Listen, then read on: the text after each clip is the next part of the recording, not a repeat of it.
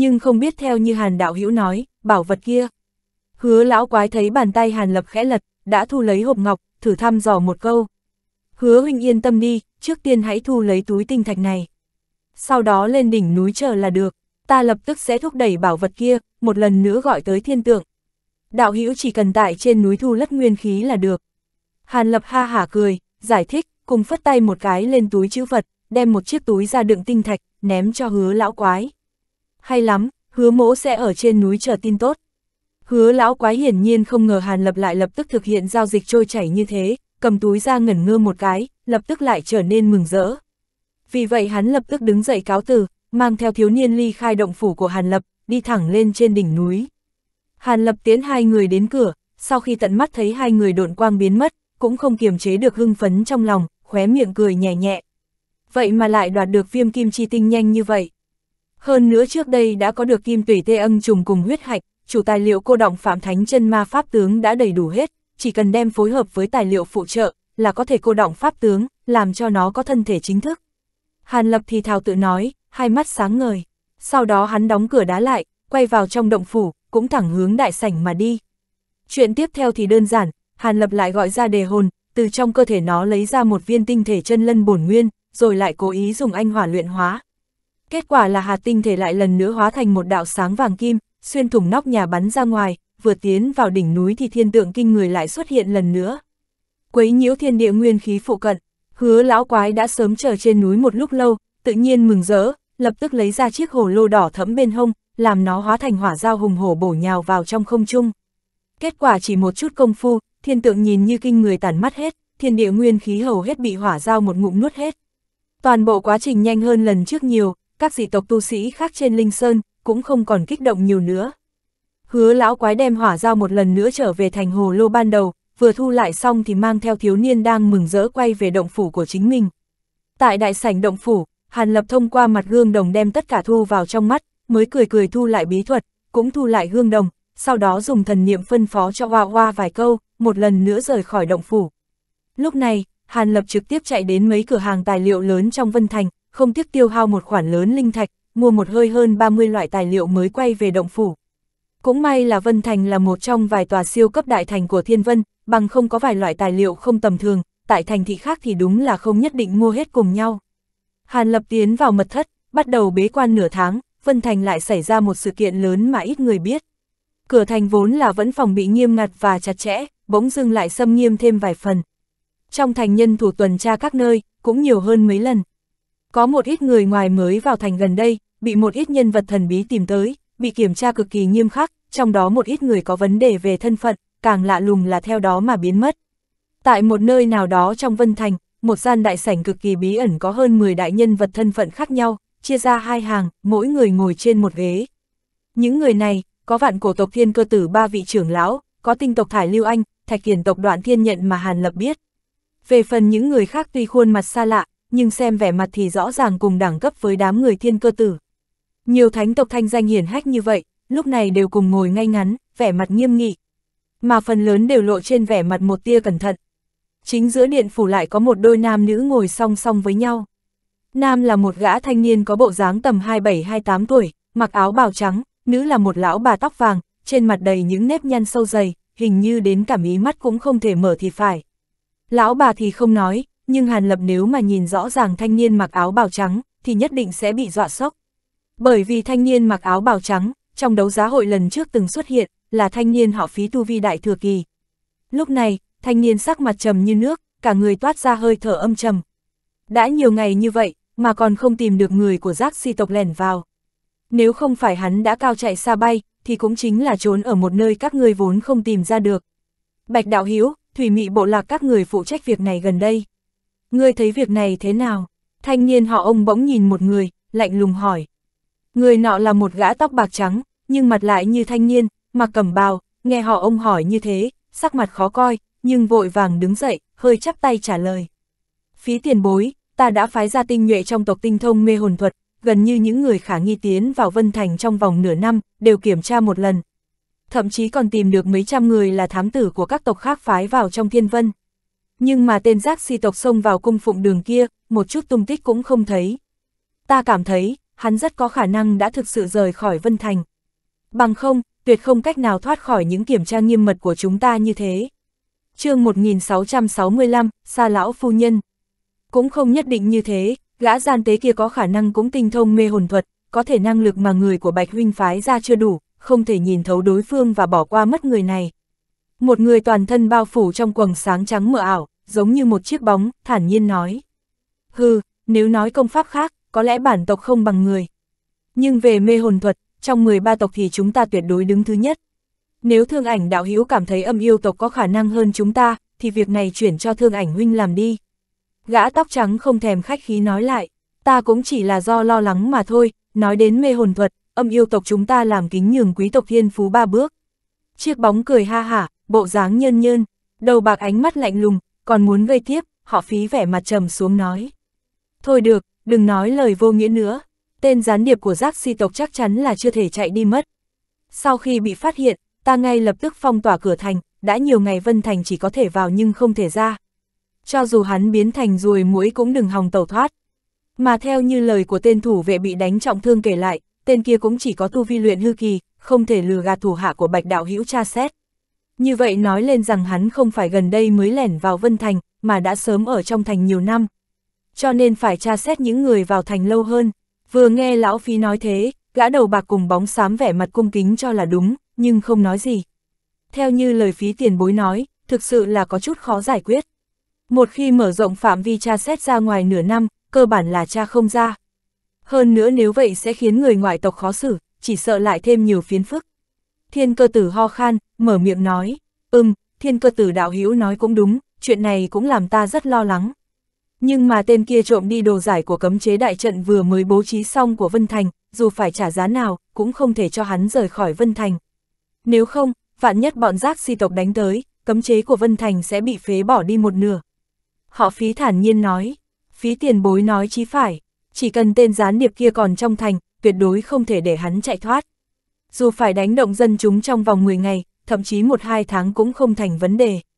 Nhưng vạn nhất tên gián điệp quyết tâm ẩn núp trong thành mấy năm thậm chí mười mấy năm thì không thể luôn giới nghiêm như thế được. Một gã dâu đen dài mở miệng, Nga, chữ đạo hữu nói như thế, chắc hẳn là có ý kiến hay. Họ phí vừa thấy lão giả này mở lời, ánh mắt chấp động hỏi lại. Vãn bối nào có nghĩ ra thượng sách gì, nhưng không phải nơi này còn có thải tiên tử sao. Lấy trí tuệ thải đạo hữu giải quyết việc này hẳn là dễ dàng. Lão giả dâu đen xua xua tay, nhưng lại nói tới thải lưu anh vẫn đang ngồi yên nãy giờ. Mỹ phụ tinh tộc vừa nghe dâu đen nói xong, ánh mắt đẹp liếc liếc, lập tức cười khẽ trả lời. Chữ huynh nói đùa, nơi này có phí tiền bối cùng trưởng tộc Sa Sơn, vãn bối nào dám khoe khoang chút thông minh. Ta chỉ nghe theo phân phó là được rồi. Thải đạo hiếu, hiện tại không phải lúc khiêm tốn. Ta nghĩ mọi người nên nghe một chút về ý kiến của vị tinh tộc trưởng lão. Họ phí nghiêm mặt, hướng thải Lưu Anh phân phó. Nếu tiền bối thực sự muốn nghe, thì thiếp xin không tự lượng sức nói một hồi. Mỹ phụ tinh tộc nhíu mày, nhưng lập tức trở lại bình thường đứng dậy, sửa sang trang phục thi lễ. Ân, thải tiên tử cứ việc mở miệng đi. Đúng vậy, thải đạo hữu chắc chắn sẽ không làm cho chúng ta thất vọng. Vừa thấy Mỹ phụ nói thế, hơn nửa đều tươi cười tán dương. Xem ra thải lưu anh tuy tu vi không cao, nhưng mọi người đều phải ngước nhìn. Bà lão hai mắt vốn nửa mở nửa khép, mi mắt hơi nhấc lên, liếc mắt trông đợi Mỹ phụ. Về phần họ phí nhìn ánh mắt thải lưu anh, cũng lộ ra vài phần mong mỏi. Ý của thiếp là, nếu nhanh không được, chậm cũng không xong. Thì chẳng bằng ngoài chậm trong nhanh, dẫn rắn rời hang đi. Thải Lưu Anh quét mắt qua mọi người một cái, nói ra ý kiến. Ngoài chậm trong nhanh, họ phí nghe thế, sắc mặt trầm ngâm. Không sai, mặc kệ tên gián điệp kia dùng phương pháp gì tránh được chúng ta dò xét, xem ra trong một thời gian ngắn sẽ không bắt được người này.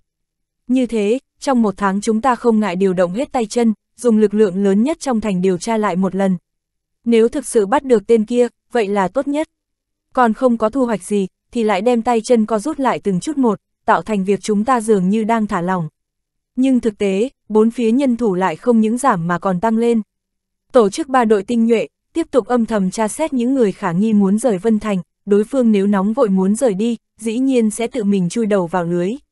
Còn nếu hắn tính toán tiếp tục trốn trong thành, nhưng thấy bên ngoài tình hình đã buông lỏng, thời gian tới cũng sẽ không bảo trì cảnh giác bị lộ ra dấu vết thì chúng ta sẽ bắt được. Mỹ phụ tinh tộc từ từ giảng giải, không tồi, đúng là một biện pháp không tồi, nhưng bốn cửa vừa mở ra, nếu người nọ thuật biến ảo quá mức kinh người, qua được sự dò xét của chúng ta, nhân cơ hội theo cổng lớn nghênh ngang chuồn đi, thì phải làm thế nào? Họ phí sau khi nghe xong, gật đầu rồi lại lắc đầu. Những người khác thấy biện pháp của Thải Lưu Anh khá hay, nhưng vừa thấy họ phí không quá đồng ý thì lại liếc mắt nhìn nhau. Hi hi, phí tiền bối. Biện pháp này của thiếp cũng chỉ mới nói một nửa, còn một nửa thì chưa nói ra. Tiền bối không ngại nghe thiếp nói tiếp chứ. Mỹ phụ tinh tộc thản nhiên cười nói. Tiếp đó môi nàng khẽ nhúc nhích, hướng thanh niên họ phí truyền âm. Họ phí trước là thấy bất ngờ, nhưng là sau vài câu, miệng một tiếng gì, lại lộ ra vẻ mặt kinh ngạc, cuối cùng lộ ra vẻ sợ hãi cùng vui mừng. Sau thời gian uống cạn chén trà, Mỹ phụ tinh tộc mới ngừng truyền âm. Quả là như thế, họ phí hít sâu một hơi, hướng thải lưu anh hỏi, lại liếc về phía thiên cơ tử. Vãn bối đầu dám lấy việc này ra nói giỡn, Mỹ phụ tinh tộc sắc mặt cung kính nói, chứng kiến thải lưu anh cùng họ phí thần thần bí bí, các lão quái đang ngồi phía dưới liếc mắt với nhau, sắc mặt không đồng nhất. Nhưng bọn họ đều rất biết điều, không ai có ý mở miệng hỏi nội dung truyền âm. Ừm, nếu thải tiên tử đã nói như thế, phí mỗ làm thế nào lại không tin. Sa phu nhân, thải đạo hữu vừa rồi mới truyền âm chắc là ngươi cũng nghe được. Ngươi thấy thế nào? Họ phí bỗng quay đầu, hướng lão bà nửa ngủ nửa thức bên cạnh, hỏi một câu, thần thái khách khí. Ta không có ý kiến gì, lần này đem thân già lọm khọm xuống núi, cũng lười suy nghĩ. Nếu có cường địch thì giúp đỡ bọn hắn, cũng là giúp đỡ đứa nhỏ kia một chút. Còn chuyện khác, ta sẽ không quản, cũng không có sức quản. Tốt lắm, các ngươi xử trí không sai biệt lắm, ta đi nghỉ trước, phí đạo hữu chuyện tình tiếp theo, người tự mình quyết định là được rồi. Lão bà họ xa cười cười, lại run run rẩy rẩy đứng dậy, bộ dáng sắp chết nói. Nghe lão bà nói vậy, họ phí cười khổ, nhưng còn chưa đợi hắn nói thêm gì, lão bà cứ thế đi ra ngoài đại điện, bộ dáng mặc kệ cho họ phí thích làm gì thì làm. Các thánh tộc khác gặp tình hình này, sắc mặt quái dị. Lại nói, vị lão bà này lai lịch cực kỳ thần bí, tuy rằng ai ai cũng biết trong 13 tộc có một vị đại thừa kỳ như vậy, nhưng không người nào biết lão bà thuộc vào tộc nào, có đại thần thông gì, vậy mà có thể tiến giai đại thừa cảnh giới. Hơn nữa còn nghe đồn, lão bà này trong đội ngũ đại thừa kỳ, là vị sống lâu nhất, tuổi thọ dài quá người thường có thể tưởng tượng. Ít nhất, những thánh giai đang ngồi đây, khi vừa mới tu luyện có chút thành tựu thì đã nghe đến vị xa lão phu nhân này rồi. Cho nên đừng tưởng lão bà này nhìn như già nua, bộ dáng chỉ một ngọn gió nhẹ cũng có thể thổi bay mất, nhưng ngay cả thanh niên họ phí vốn đã có tu vi đại thừa kỳ khi đối mặt nàng, cũng phải lấy thân phận vãn bối. Các thánh tộc khác, tất nhiên không dám có dù một chút lãnh đạm. Thế nhưng sau khi thấy lão bà biến mất sau đại môn, bất đắc dĩ thở dài một hơi, thu ánh mắt trở về. Nếu sao lão phu nhân nói thế, chúng ta sẽ không thảo luận việc này sẽ xử lý thế nào nữa. Cứ dựa theo lời thải đạo hữu làm đi, thải tiên tử, bạch đạo hữu chuyện này ta giao cho hai người toàn quyền quyết định. Nhưng người khác toàn lực phối hợp, họ phí đánh giá một chút, phân phó quyết đoán. Trong điện phủ mọi người tự nhiên không có ý kiến gì, không ngất lời khen chí lý. Tốt lắm, bây giờ chúng ta thương lượng về chuyện nhiễm hàn giới. Thiên cơ tử, người nói một chút đi. Họ phí chuyển chủ đề, chỉ đích danh nói. Những người khác vừa nghe đến nhiễm hàn giới, sắc mặt cùng hoi đổi. Thiên đạo hiếu, thế này là thế nào? Chẳng lẽ nhiễm hàn giới lại sắp mở ra? Có người tính tình nóng nảy, bức xúc hỏi. Thải Lưu Anh cùng đoạn thiên nhận nghe vậy, bản năng liếc nhau một cái, lập tức ánh mắt trở lại tự nhiên. Nhiễm hàn nghi mà vạn cổ tộc chúng ta bố trí trong thông linh đại điện, hai ngày trước đã có phản ứng. Theo kinh nghiệm những lần trước, nhiễm hàn giới lâu thì 3-4 năm, mau thì trong mấy tháng, sẽ lại mở ra. Thiên cơ tử bình tĩnh nói, chương 1666, lai khách, nhanh vậy sao, hiện tại mở ra cũng không phải đúng lúc, trong nháy mắt, mọi người tại đại sảnh đều một trận giao động. Ngay khi nhiễm hàn lệnh vừa hiện thế không lâu, nhiễm hàn nghi liền xuất hiện dự triệu, việc này có chút không giống với trước kia. Hiện tại lại là lúc giác si tộc xâm lăng thiên vân chúng ta, cho nên không thể phân tâm. Nhưng nhiễm hàn giới một khi mở ra lại là cơ hội cho các tộc ở lôi minh đại lục chúng ta tăng cường thực lực, hiển nhiên cũng không thể chậm trễ. Cho nên việc này chuẩn bị thế nào thì còn cần các vị đạo hữu và ông tiền bối cho ý kiến. Thiên cơ tử ngưng trọng nói, thiên đạo hữu nói không sai, giác si tộc đã công kích hơn phân nửa tinh lực phân thành chúng ta. Nhưng cũng may việc nhiễm hàn giới mở ra, chúng ta cũng không phải là lần đầu tiên trải qua. Cho dù lần này mở ra sớm thì cũng không cần hoảng. Thanh niên họ ông gật đầu nói, kỳ thật nhiễm hàn giới mở ra, chủ yếu là dành cho hậu bối, việc chúng ta cần làm là lên danh sách những người tiến vào. Lúc này đây nhiễm hàn lệnh của 13 tộc chúng ta cũng không nhiều lắm, trong Vân Thành chỉ có hai cái mà thôi. Nói như vậy, chúng ta chỉ cần chuẩn bị hai pháp trận, những việc khác không cần quan tâm. Một đại hán đen thui nhếch miệng đồng ý nói, đúng thế, nhưng hậu bối luyện hư kỳ đỉnh giai của chúng ta cũng không ít, danh sách này chỉ sợ cũng khó chọn. Muốn đề phòng gian tế giác si tộc nhân cơ hội dở trò, hai truyền tống pháp trận này nhất định phải được gia tăng bảo vệ. Một người nào đó nhíu mày, mở miệng nói, thanh niên họ ông nghe lời này thì chỉ mỉm cười, sau khi chờ mọi người nói qua một lượt, mới hỏi tinh tộc nữ tử một câu. Thải tiên tử, người có ý kiến bổ sung gì không? Chư vị đạo hữu đã nói đủ, thiếp thân không có gì bổ sung. Tinh tộc Mỹ phụ ngẩn ra, nhưng lập tức mỉm cười trả lời.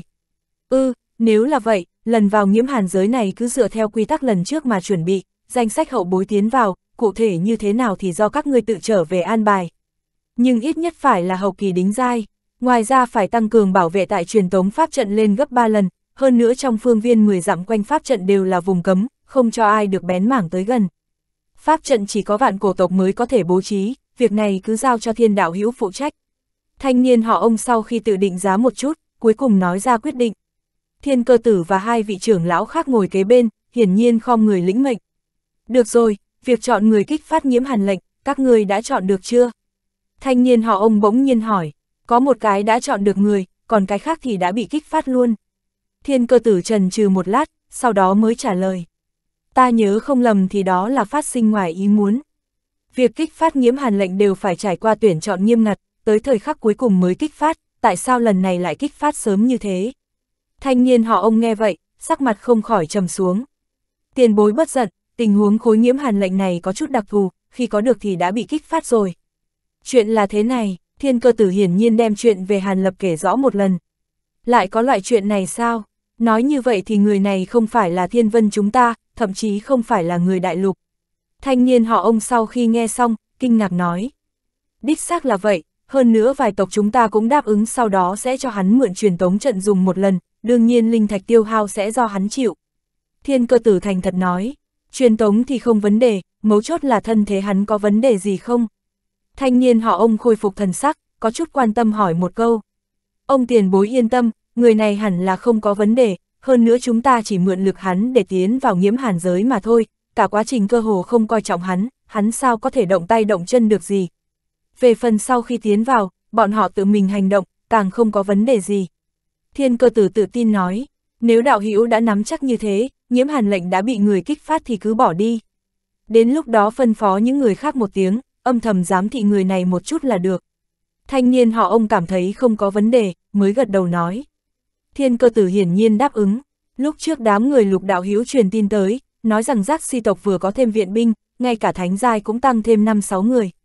Chúng ta không kịp đề phòng, đã bị công phá ba tòa thành, hơn nữa phần lớn đang ở thế hạ phong. Xem ra giác si tộc thật sự có ý mở rộng quy mô. Sau khi thiên cơ tử ngồi xuống, một thánh tộc da xanh đứng dậy, hướng thanh niên họ ông bẩm báo một việc khác. Hừ, lập tức điều động 5 tên thánh giai và hơn ngàn cao giai đến tiền tuyến. Bọn chúng nếu muốn chiến thì thiên vân chúng ta sẵn sàng tiếp đón. Thanh niên họ ông hừ lạnh một tiếng, không suy nghĩ phân phó nói. Vâng, thời gian tiếp theo, những người khác bắt đầu bẩm báo một số chuyện quan trọng khác. Hội nghị này tiếp tục kéo dài thêm gần nửa canh giờ mới chấm dứt. Tất cả thánh giai sau khi rời đi, lập tức đều về chuẩn bị. Mà lúc này Hàn Lập đang trong động phủ bế quan. Một năm sau, vào một ngày nọ, Hàn Lập đột nhiên ra khỏi động phủ, rời khỏi Vân Thành. Nhưng gần nửa ngày sau, hắn liền thần bí trở về trong thành, lại tiến vào mật thất không ra. Thời gian trôi qua, trong nháy mắt đã 3 năm, mà trong động phủ Hàn Lập, ánh sáng có chút hắc ám, trong đó có ba nhân ảnh đang ngồi xếp bằng trên bồ đoàn. Trong đó một người kim quang lập lòe, bên ngoài thân hiện lên một phiến kim sắc lân giáp, giống như xích kim. Một người khác cả người đều là hắc khí quay cuồng, thân ảnh có vẻ vô cùng mơ hồ, không thể thấy rõ bộ dáng. Mà người cuối cùng lại lập lè tử quang, da thịt xanh biếc. Ba người bắt pháp quyết khác nhau, bộ dáng vẫn không nhúc nhích. Cũng không biết trải qua bao lâu, đột nhiên thân thể kim sắc nhân ảnh kia chấn động, mở mắt ra. Hai luồng lam mang bắn ra, chuyện gì vậy, người nọ đã tìm đến cửa, chẳng lẽ là... Kim sắc nhân ảnh thì thào tự nói một câu, tiếp theo hắn bỗng nhiên vung tay, một đoàn bạch quang từ trong tay áo bay ra, huyền phù trên không. Hư không bắt đầu sáng lên, đem ba đạo nhân ảnh hiện ra rõ ràng. Kim sắc nhân ảnh ngồi giữa đúng là Hàn Lập, hắn nhíu mày, tựa hồ đang tự định giá chuyện gì đó. Mà tên phát ra tử quang, da thịt xanh biếc kia lại có khuôn mặt giống với Hàn Lập, chỉ là hai mắt trong suốt vô cùng, nhìn về phía Hàn Lập, bộ dáng tò mò. Lúc này, trong đoàn hắc khí truyền ra một trận phạm âm, hắc khí bắt đầu dần tan đi, kết quả lộ ra một quái vật ba đầu sáu tay. Quái vật này thân cao hai trượng, cả người phát ra kim quang chói mắt, nhưng chỉ có hai gương mặt là rõ ràng, không có mũi, làm cho người ta dựng tóc gáy. Quái vật phảng phất như kim sắc cự tượng này mở mắt ra, con người sâu thẳm tăm tối như hố đen, phảng phất có thể hút cả tâm thần người khác vào. Có khách tới, các người trước tiên cứ tự mình tu luyện, ta đi gặp bọn họ đã. Hàn Lập lúc này đã tự định giá xong, phân phó hai người kia một tiếng, liền hóa thành một đạo kinh hồng bắn về phía vách tường của mật thất. Kết quả kinh hồng chợt lóe, liền vô thanh vô tức chui vào vách tường không thấy bóng dáng. Một lát sau, nguyên bổn đại môn đang đóng chặt bóng chợt lóe thanh quang, từ từ mở ra. Hàn Lập thong dong từ trong đi ra, bái kiến thải tiền bối, tiền bối như thế nào lại đến tệ xã? Hàn Lập vừa thấy người trước mặt, liền không người, cung kính hỏi thăm. Gương mặt nữ tử này cao nhã, dáng người thon dài, đúng là thải lưu anh của tinh tộc. Thế nào, chẳng lẽ Hàn Đạo Hữu không hoan nghênh thiếp thân sao? Nữ tử này thản nhiên nói, tiền bối nói đùa, thải tiền bối có thể đến động phủ vãn bối thì vãn bối cầu còn không được. Vị đạo hữu này là, Hàn Lập cười ha ha, nhưng ánh mắt xoay chuyển, nhìn về phía người sau lưng đối phương. Phía sau thải lưu anh là một nữ tử dáng người thướt tha, nhưng trên đầu lại mang một cái nón trắng che đi khuôn mặt, mơ hồ bị một tầng tinh quang che chắn, không thể thấy rõ khuôn mặt. Nàng ta là tiểu đồ vừa mới thu nhận, tinh tộc Mỹ Phụ không nói thêm gì, chỉ ngắn gọn giải thích một câu. Mà nữ tử kia cũng gật đầu, không nói gì. Hàn Lập thấy vậy, hiển nhiên không đi hỏi thêm, chỉ có thể trực tiếp mời hai người vào động phủ. Kết quả không lâu sau đó, ba người Hàn Lập đều ngồi xuống trong đại sảnh. Một khôi lỗi hình người được Hàn Lập dùng thần niệm điều khiển, dâng lên một ít linh quả cùng linh trà. Tinh tộc Mỹ phụ tự mình rót trà, kết quả trong mắt hiện lên một tia dị sắc. Linh khí thật mạnh, tựa hồ là cây trà đã ngoài ngàn năm mới có thể cho lá như thế này. Đặc biệt chính là cây trà cũng là loại hiếm có. Nói như thế, linh trà này tại Vân Thành cũng hiếm có ai bán. Thải Lưu Anh sau khi nếm một ngụm, không khỏi tán dương. Nếu tiền bối thích, vãn bối ở nơi này còn có một chút, xin tặng tiền bối. Hàn Lập nghe vậy thì cười, tiếp theo tay áo phất một cái, một cái hộp màu trắng hiện ra trên bàn. Nếu đạo hữu nói như thế, ta cũng không khách khí, ta thật đúng là thích loại trà này. Tinh tộc Mỹ Phụ cười nói, chương 1667, hợp kích bí thuật. Thải Lưu Anh vừa nói, Ngọc Thủ vừa nhấc, đã đem hộp ngọc thu về. Hàn Lập thấy vậy chỉ cười, tiếp theo cùng Thải Lưu Anh đàm luận một số đề tài về tu luyện, không chút ý tứ hỏi đến nữ đồ của nàng. Tinh tộc thấy Hàn Lập như vậy, khóe miệng chỉ khẽ cười, đồng dạng cũng không đề cập đến đồ đệ của mình, cứ thế mà trò chuyện. Sau một canh giờ, hai người vẫn chưa hề mệt mỏi, bộ dáng vẫn tiếp tục trò chuyện thêm một canh giờ nữa.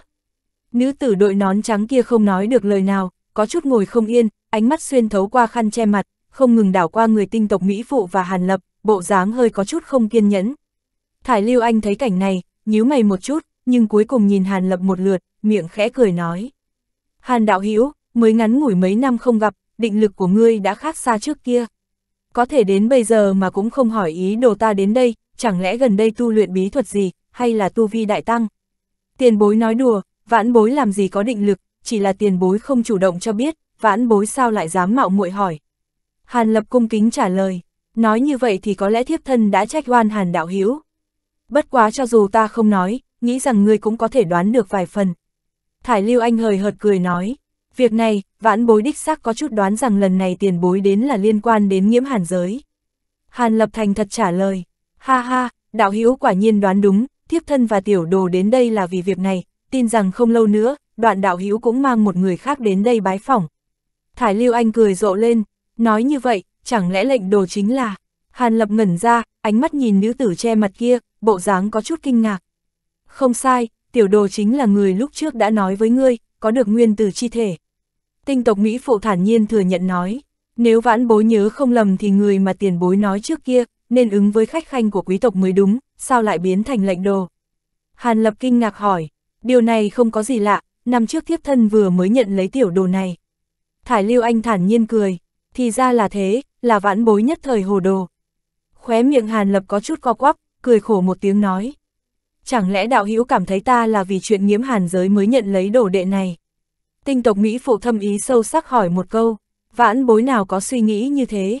Sắc mặt Hàn Lập hơi đổi, nghĩ như thế cũng không sao, bất quá ta có thể cam đoan với ngươi, tiểu đồ bái tiếp thân làm sư phụ tuyệt đối là cam tâm tình nguyện, không có nửa phần miễn cưỡng. Thải Lưu Anh lơ đỉnh nói, ta thật tâm bái làm môn hạ của sư phụ, không có chút bắt buộc. Nữ tử che mặt rốt cục vào lúc này mở miệng nói. Thanh âm có chút trầm thấp, nhưng lại có một sức hút, có chút dễ nghe. Hàn Lập nghe vậy, nét mặt lộ ra một tia ngượng ngùng, chỉ có thể xấu hổ cười, không nói thêm gì. Kỳ thật lần này mục đích thiếp thân đến rất đơn giản, chính là muốn cho ngươi làm quen với tiểu đồ một chút, sau này trong nhiễm hàn giới còn cần hai người các ngươi đồng tâm hiệp lực. Thải Lưu Anh chậm rãi nói, tiền bối nói như vậy, chẳng lẽ nhiễm hàn giới sắp mở ra? Hàn Lập không khỏi hỏi ngược một câu, đạo hữu nói không sai, nếu không có gì ngoài ý muốn thì một tháng sau nhiễm hàn giới sẽ mở ra. Tinh tộc Mỹ Phụ ngưng trọng nói, một tháng sau, nhanh như vậy sao? Hàn Lập thật sự cả kinh, thế nào, Hàn đạo hữu còn có chuyện chưa làm xong sao? Thải Lưu Anh chợt hỏi, cũng có một chút, nếu có thể cho tại hạ hơn 10 năm nữa, nói không chừng có thể tu luyện đến bình cảnh, lúc đó mượn cơ hội lần này tiến giai. Hàn Lập có chút bất đắc dĩ nói, đúng là xui xẻo, bất quá hiện tại ngươi chỉ là thượng tộc thất giai mà thôi, cho dù tu luyện đến đỉnh giai thì cần phải tốn nhiều thời gian hơn nữa. Đột phá bình cảnh cũng không quá khó khăn, hơn nữa ta và đoàn huynh đã hứa cho ngươi chỗ tốt như vậy, ngươi nên cảm thấy đủ mới phải. Tinh tộc Mỹ Phụ nghe vậy, thản nhiên nói, tiền bối yên tâm, cho dù vãn bối muốn lâm trận lùi bước thì thiên cơ tử tiền bối cũng tuyệt không đáp ứng. Hàn lập dùng mình, nhưng mặt ngoài lại cười trả lời. Đạo hữu biết vậy là tốt, hiện tại ngoại trừ giới thiệu tiểu đồ cho ngươi biết thì cấm chế trong nghiễm hàn giới cũng hung hiểm vô cùng, còn có vài chuyện muốn giao cho ngươi. Ngươi trước khi xuất phát cũng cần chuẩn bị một số pháp khí cùng bảo vật. Sau khi thải lưu anh gật đầu, liền chuyển đề tài nói. Xin tiền bối chỉ giáo. Hàn Lập nghe xong lời này thì vui vẻ, có chút thành khẩn trả lời. Tinh tộc Mỹ phụ thấy cảnh này, hài lòng gật đầu, liền giảng giải. Những chỗ hung hiểm trong nhiễm hàn giới thì ta không cần nói. Khi xuất phát, hiển nhiên sẽ có người giảng giải cho các ngươi. Hiện tại ta muốn nói đến kinh nghiệm bản thân khi năm đó tiến vào nhiễm hàn giới. Đầu tiên, tốt nhất là không nên đi về khu vực cực nóng cực lạnh, nơi này không chỉ có mãnh thú băng thuộc tính mà còn có cấm chế cực kỳ lợi hại, lấy tu vi các ngươi, đi vào chỉ có chết mà thôi. Thứ hai, các ngươi nếu gặp, thần sắc tinh tộc Mỹ Phụ nghiêm nghị, nói chừng thời gian một bữa cơm. Vô luận là Hàn Lập hay nữ tử che mặt đều chăm chú lắng nghe, dù sao việc này liên quan đến tính mạng của mình, tuyệt không có nửa phần khinh thường. Cuối cùng, các người phải nhớ cho kỹ, nếu từ xa nhìn thấy một đám mây đỏ thì phải chạy trốn thật xa, nếu có nửa phần trần trừ thì các ngươi liền chết ngay. Nguyên nhân cụ thể thì không cần ta nói, khi các ngươi nhìn thấy sẽ biết. Được rồi, những điều cần nói thì ta đã nói, Hàn đạo hữu nên nhớ kỹ. Thải Lưu Anh rốt cục ngừng nói, vãn bối đã nhớ kỹ, đa tạ tiền bối chỉ giáo. Hàn Lập cung kính trả lời, được rồi, nếu sự tình đã xong, ta và tiểu đồ liền trở về, lần sau gặp lại, có lẽ sẽ là lúc tiến vào nhiễm hàn giới.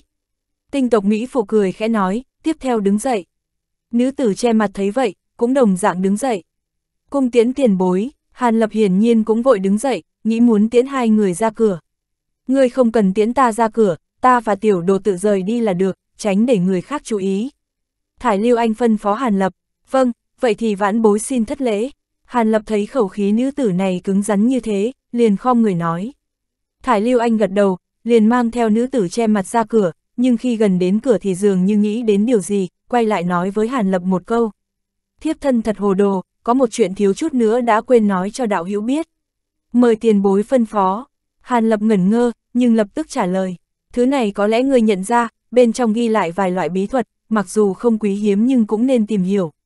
Chờ xua khi ba người các ngươi tiến vào nghiễm hàn giới, đừng vội xuất phát, trước tiên cứ đem nguyên từ thần quang ngưng luyện bí thuật này, bí thuật này không chỉ có tác dụng bài trừ cấm chế, mà khi đối địch cũng là thần thông cực kỳ lợi hại, bảo đảm các ngươi sẽ bình an. Nguyên bổn định cho các ngươi sớm tu luyện, nhưng hiện tại Vân Thành quá nhiều tai mắt, vì phòng ngừa bị kẻ khác học lén, cho nên sau khi tiến vào nhiễm hàn giới hãy tu luyện. Thải Lưu Anh vừa nói, vừa đánh ra một dạo bạch quang về phía Hàn Lập. Hàn Lập có chút ngoài ý muốn hư không một chảo, nhất thời một mảnh hôi quang bay ra, đem bạch quang thu vào tay. cúi đầu nhìn xuống, rõ ràng là một bạch sắc ngọc phiến. Hợp kích bí thuật, Hàn Lập nhìn vật ấy, không khỏi thầm nói một tiếng, lập tức đem thần niệm nhập vào bên trong. Bí thuật này hiển nhiên hắn có nghe nói qua. Nói đại khái, loại bí thuật này khi có nhiều người liên thủ, thì uy lực rất lớn, là một loại bí thuật hiếm thấy. Sau thời gian một bữa cơm, Hàn Lập mới đem thần niệm từ trong ngọc phiến thu về, lúc này trong đại sảnh đã trống trơn. Thải Lưu Anh cùng nữ tử che mặt đã sớm đi mất. Hàn Lập vẫn chưa lộ ra vẻ ngoài ý muốn, ngược lại tay áo vung lên.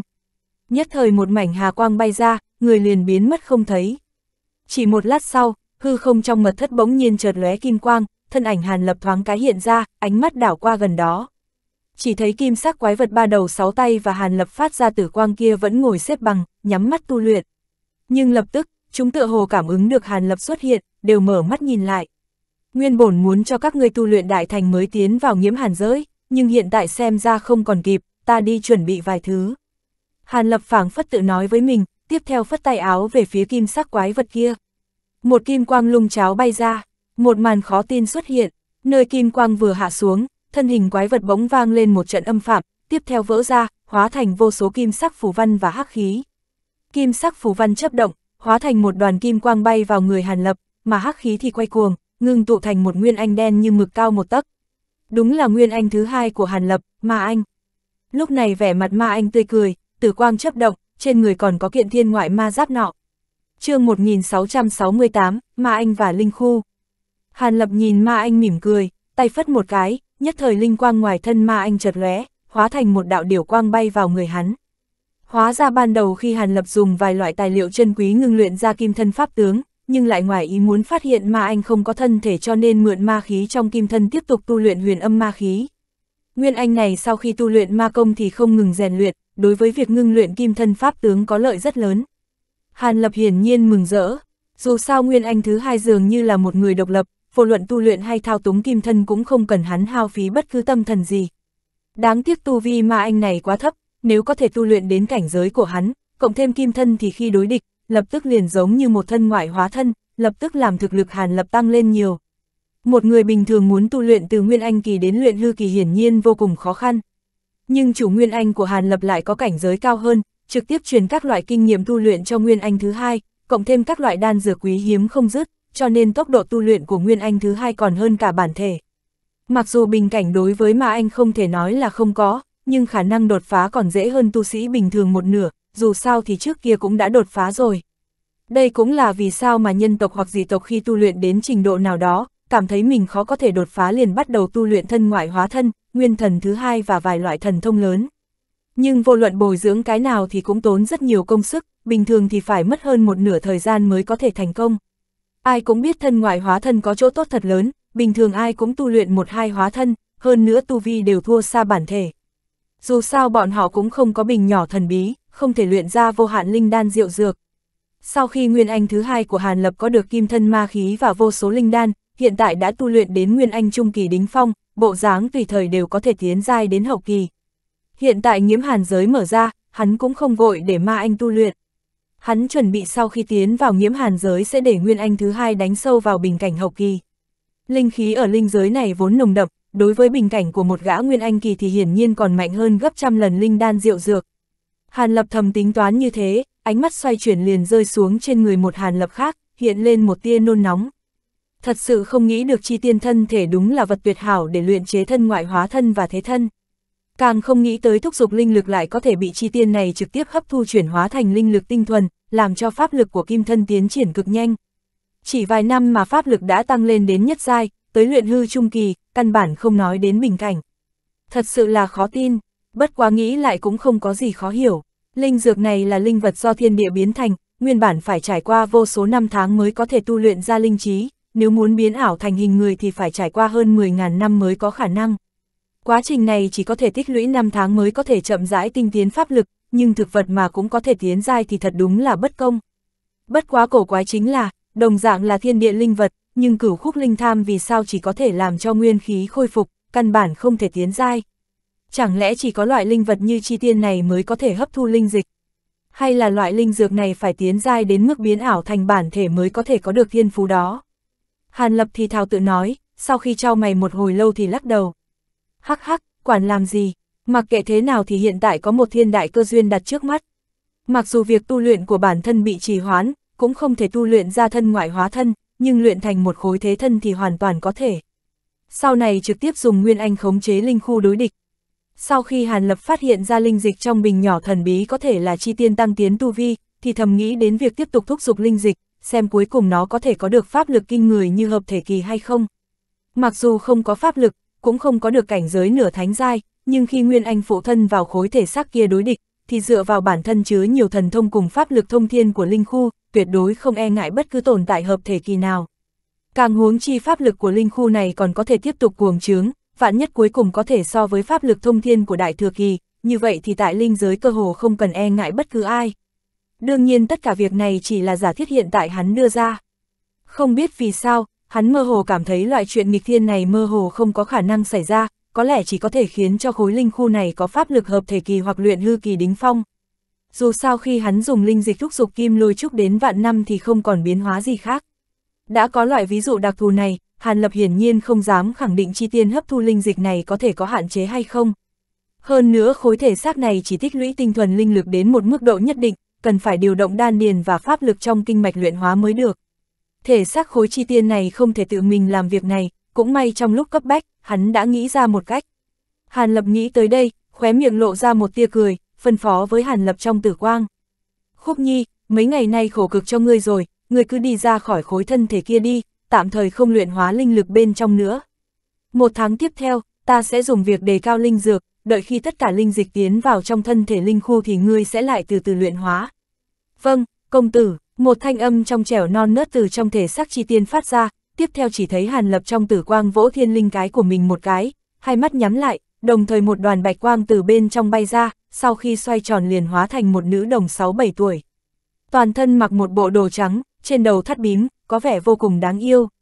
Hàn Lập thấy nữ đồng hiện ra, mỉm cười nói, hiện tại tiến vào nhiễm hàn giới, ngươi sẽ đi cùng ta. Ta sẽ đem bản thể của ngươi theo cùng, hiện tại ngươi cứ đi nghỉ ngơi cho tốt đi. Công tử, ta có thể đi cùng sao? Nữ nồng nghe vậy mừng rỡ, cười hồn nhiên, lúc này đây ta tiến vào nhiễm hàn giới còn không biết gặp phải loại chuyện nào, hiện tại nguyên thần của ngươi đã thông linh, biến ảo thành hình người, ta như thế nào yên tâm để ngươi ở đây một mình. Vạn nhất sau khi ta rời đi, có ngoại nhân xông vào động phủ thì không xong. Hàn Lập ôn hòa giải thích, thật tốt quá, không biết vì sao sau khi ta biến thành bộ dáng thế này, chẳng những ý nghĩ tốt hơn rất nhiều, cho nên hiện tại muốn ra ngoài xem một chút. Đồng tử vui mừng nói, ha ha, đúng là ngươi mới mở ra linh trí không lâu, loại suy nghĩ này hiển nhiên không có gì ngạc nhiên. Bất quá trong khoảng thời gian này, ngươi cứ đợi ở dược viên, ngàn vạn lần đừng để ai thấy được. Trong khoảng thời gian này, ta sợ rằng động phủ sẽ không yên bình. Hàn Lập ngưng trọng nói, vâng, Khúc Nhi sẽ đến dược viên nghỉ ngơi. Nữ đồng vừa nghe nói có thể sẽ có ngoại nhân đến động phủ, không khỏi hoảng sợ nói. Tiếp theo thân hình nữ đồng trở nên mơ hồ, lần nữa hóa thành bạch quang bắn đi, chấp động một lần liền chui vào lòng đất không thấy bóng dáng. Nữ đồng này hiển nhiên chính là nguyên thần cửu khúc linh tham biến thành. Lúc đầu Chi Tiên nói qua rằng muốn cửu khúc linh tham sẽ sớm mở ra linh trí. Nhưng Hàn Lập không nghĩ tới linh vật như Chi Tiên, sau khi binh giải tiến vào luân hồi, gần một năm sau liền đem nguyên thần từ thỏ trắng biến thành nữ đồng. Xem ra Chi Tiên khẳng định là có ý gì đó, cho nên mới tiến giai. Hàn Lập nhớ đến chuyện này, liền đặt tên cho cửu khúc linh tham sau khi tiến giai là Khúc Nhi. Sau đó hắn lại phát hiện Khúc Nhi bởi vì duyên cớ là thiên địa linh vật, cho nên có thể trực tiếp tiến vào thân thể chi tiên, cũng có thể điều động pháp lực bên trong. Mà trong quá trình luyện hóa linh lực, tự thân Khúc Nhi cũng có được lợi ích không nhỏ. Kể từ đó, hắn hiển nhiên dứt khoát đem chuyện luyện hóa linh lực trong thân thể chi tiên giao cho nữ đồng này làm. Kết quả sau 2 năm làm cho hắn rất hài lòng. Hiện tại thấy nữ đồng đã đi xa, hắn cười nhẹ, giơ tay chảo một cái về phía linh khu trên không. Nhất thời một mảnh hà quang bay ra, bao phủ lấy linh khu. Thân thể chi tiên trong tử quang nhanh chóng thu nhỏ lại, cuối cùng biến thành một tấc, bay tới trước người Hàn Lập, chui vào tay áo không thấy bóng dáng.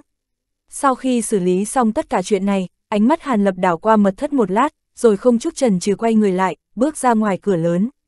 Một tháng tiếp theo, Hàn Lập thường xuyên đến các cửa hàng ở Vân Thành, bắt đầu siêu tầm một số tài liệu cùng pháp khí.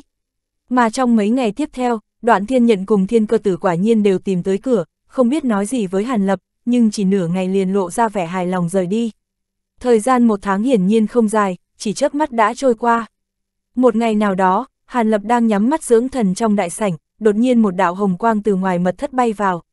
Hắn nhíu mày, bắt lấy hồng quang vào tay, sau đó dùng tâm thầm nhập vào trong xem xét.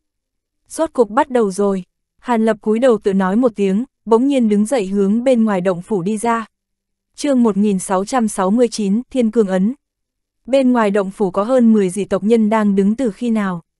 Cầm đầu là bốn người một thân hoàng bào, đều là luyện hư kỳ, số người còn lại là giáp sĩ tay cầm giáo bạc, bộ dáng sẵn sàng nghinh địch. Hàn đạo hữu ta và các vị huynh đệ phụng mệnh thiên cơ tử tiền bối, đặc biệt đến đây mời đạo hữu đi hội họp. Một hoàng bào đại hán thấy Hàn Lập từ trong động phủ đi ra, liền ôm quyền nói. Vậy thì làm phiền mấy vị đạo hữu Hàn Lập chưa lộ ra vẻ ngoài ý muốn, bất động thanh sắc. Trước kia chuyện tình hắn kích phát nhiễm hàn lệnh chỉ có một số ít cao tầng tại Vân Thành là biết. Nhưng sau khi nhiễm hàn giới mở ra, số người biết phỏng trừng tăng lên không ít. Thiên cơ tử hiển nhiên lo sợ lúc này có người quấy rối, bắt cóc hoặc là diệt sát nên mới phái người đến bảo vệ. Sau khi Hoàng Bào Đại Hán nghe Hàn Lập nói xong, cười cười, phất tay về phía giáp sĩ phía sau. Nhất thời đám giáp sĩ tản ra hai bên, lộ ra một linh xa được kéo bởi những thanh điều thật lớn, xinh đẹp vô cùng. Liếc mắt một cái liền có thể nhìn ra linh xa này không phải là phàm vật. Hàn Lập thấy vậy, không khách khí, tiêu sái tiến vào trong linh xa. Bốn gã hoàng bào kia đồng dạng cũng bay lên linh xa, thuần thục phân biệt đứng ở bốn góc linh xa, vừa lúc đem Hàn Lập bảo hộ nghiêm ngặt vào trong. Hai thanh điều hót vang vài tiếng, hai cánh vỗ bay lên đi. Ngân sắc giáp sĩ đều tự thả ra một ngân sắc viên bàn, đứng lên trên rồi phi hành theo. Một lát sau, thanh sắc linh xa đã bay lên trời cao trăm trượng, thẳng đến một chỗ nào đó tại Vân Thành. Rõ ràng lúc này cả tòa Vân Thành đều được bảo vệ, chẳng những người đi đường trong thành rất ít, mà dọc đường còn có thể thấy được từng đội ngân sắc giáp sĩ đi tuần. Hàn Lập chú ý tới những nơi trọng yếu, ẩn ước truyền tới một chút cấm chế ba động, tựa hồ một số cấm chế đều được kích phát. Xem ra việc nhiễm hàn giới mở ra được cao tầng Vân Thành rất coi trọng. Đoạn đường Linh xa bay đi vẫn không xảy ra chuyện ngoài ý muốn, Linh Sa trực tiếp đưa Hàn Lập đến khu vực gần khách sạn mà ngày đó Hàn Lập kích phát nhiễm hàn lệnh. Hiện tại khu vực này hoàn toàn bị cấm chế rậm rạp bao phủ, hơn nữa từ xa có thể nhìn thấy bên trong cấm chế có hơn 10 cây cột cao hơn trăm trượng từ dưới đất mọc lên, bao phủ phương viên quanh khách sạn khoảng 10 dặm. Những cây cột này tản ra linh quang đủ loại màu sắc, hình thành một ngũ sắc quang cháo, đem tất cả bên trong bảo vệ nghiêm ngặt, người bên ngoài căn bản không thể nhìn thấy bất cứ thứ gì bên trong. Bất quá, khi tiến đến khu vực này liền phát hiện giáp sĩ nơi này so với những nơi khác đông hơn 10 lần, cơ hồ cả khu vực đều được giáp sĩ vây quanh. Hơn 800 khôi lỗi thân cao 7-8 trượng, người đen như mực đeo xích đỏ như lửa phân tán đứng ở khắp nơi không nhúc nhích. Hàn Lập thấy cảnh này, trên mặt lộ ra một tia kinh ngạc. Giáp sĩ thủ vệ ở nơi này tu vi ít nhất đã ngoài kết đan kỳ, nguyên anh kỳ lại càng chiếm đa số. Về phần khí tức luyện hư kỳ, Hàn Lập đảo thần niệm sơ qua cũng phát hiện vài người, cấm chế phụ cận bày ra giống như thiên la địa võng. Có thể thấy được nơi này được bảo vệ xâm nghiêm đến cỡ nào. Thanh sắc linh xa có dấu hiệu đặc thù, đoạn đường bay tới căn bản không bị đội tuần tra nào cản lại.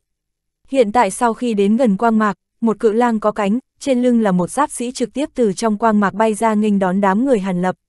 Thiết thống lĩnh, Hàn đạo hữu đã tới chưa? Một nam tử khoảng 50 tuổi, mặc giáp xanh khi trông thấy thanh sắc linh xa nhất thời từ trên lưng cự lang lớn tiếng hỏi. Ha ha, là thiên tiền bối bảo hoa huynh ra nghênh đón sao? Yên tâm, Hàn đạo hữu đang ở trong linh xa, hoa đạo hữu có thể mở cấm chế ra được rồi. Hoàng bào đại hán trên xe mỉm cười trả lời, không có chuyện gì thì tốt, ta sẽ mở cấm chế ra ngay. Nam tử trên cự lang nghe vậy liền lấy từ trong người ra một khối lệnh bài, tiếp theo hướng về phía quang mạc. Nhất thời mấy đạo quang trụ màu sắc khác nhau từ trên lệnh bài phun ra, bắn lên quang mạc hình thành một đại quang trận cỡ một trường.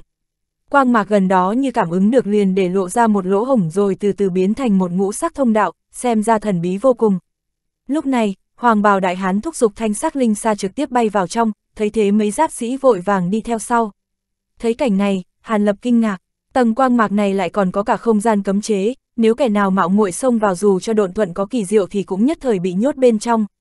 Thời gian trì hoãn lâu như vậy, kẻ đột nhập hiển nhiên sẽ bị phát hiện. Tâm niệm Hàn Lập nhanh chóng xoay chuyển, tự định giá. Lúc này, thanh sắc linh xa đã bay ra, trước mắt bỗng nhiên sáng ngời, cảnh tượng phía trước rơi vào mắt Hàn Lập. Chỉ thấy phía dưới bất ngờ có hai vòng tròn đường kính hơn 10 trượng, mặt ngoài có vô số tinh thạch khảm vào, ngoài rìa còn có vô số hoa văn phức tạp, chớp động quang mang đủ màu. Từ xa nhìn lại thật sự rất diễm lệ, trung tâm pháp trận, ngoại trừ một điện phủ thì không có bất cứ kiến trúc gì khác. Nhưng thật ra vô luận bốn phía pháp trận hay điện phủ thật lớn kia, toàn bộ đều là bóng người, bộ dáng tụ tập mấy ngàn dị tộc nhân. Trong đó phần lớn là giáp sĩ phụ trách cảnh giới, còn có trăm người mặc phục sức khác nhau, không ai là không có tu vi cao thâm. Những người này đứng quanh hai tòa pháp trận cùng điện phủ, không ai nói chuyện. Bất quá khi Linh Sa chở Hàn Lập bay tới, phía dưới có không ít người nhìn thấy đều ngẩng đầu nhìn lên. Nhưng Hoàng Bào Đại Hán căn bản không để ý tới ánh mắt của những người này, trực tiếp khống chế Linh Sa bay quanh một vòng, sau đó hạ xuống một bãi đất trống trước cửa điện phủ. Ánh mắt Hàn Lập đảo qua, lúc này mới phát hiện một bên khác có một linh xa giống như đúc, chỉ là màu sắc chiếc này là màu trắng. Hàn đạo hữu thiên tiền bối đang chờ đạo hữu trong đại điện, chức trách của ta chỉ có thể tiễn đến đây mà thôi. Hoàng bào đại hán dừng xe, vô cùng khách khí ôm quyền nói với Hàn Lập. Đa tạ thiết huynh đã hộ tống trên đường. Hàn Lập cũng hoàn lễ, lãnh đạm cười trả lời. Tiếp theo, thân hình hắn thoáng một cái, người từ linh xa bay lên, hai chân sau khi chạm đất liền không chút hoang mang đi về phía điện phủ. Hơn 10 giáp sĩ canh giữ điện phủ thấy Hàn Lập từ trên linh xa hạ xuống, chỉ dùng ánh mắt tò mò đánh giá hắn vài lần, vẫn chưa tiến lên vặn hỏi gì. Hàn Lập thấy cảnh này hiển nhiên là coi như không nhìn thấy, đi vào. Xuyên qua hành lang đầy giáp sĩ đứng ở hai bên, Hàn Lập liền đi tới một gian đại sảnh rộng lớn. Bên trong hoặc ngồi hoặc đứng chừng 4, 50 người, bộ dáng phân làm hai bên. Ghế chính giữa đại điện là một thanh niên da trắng hơn 20 tuổi, đúng là thanh niên họ ông. Mà thiên cơ tử, đoạn thiên nhận cùng Thải Lưu Anh và 7-8 gã hợp thể kỳ khác thì đang ngồi. Phía sau những người này đều một số nam nữ dung mạo khác nhau, khí tức không kém, đều là luyện hư kỳ đỉnh giai. Lúc Hàn Lập đi vào, thiên cơ tử mỉm cười nói với thanh niên họ ông điều gì đó, những người khác cũng lẳng lặng lắng nghe. Hiện tại Hàn Lập đã đi vào đại sảnh, hơn phân nửa số người đều quét ánh mắt về phía hắn. Vãn bối bái kiến chư vị tiền bối. Hàn Lập vừa nhìn thấy thanh niên họ ông, trong lòng không khỏi cả kinh nhưng mặt ngoài vẫn duy trì ổn định, hướng lão quái vật này thi lễ. Hàn đạo hữu người đã tới. Được rồi, vài canh giờ nữa nhiễm hàn giới sẽ mở ra, ta lập tức giới thiệu cho ngươi những đồng bạn sẽ cùng ngươi truyền tống. Thiên cơ tử mỉm cười nói, vâng, tất cả đều nghe theo phân phó của tiền bối.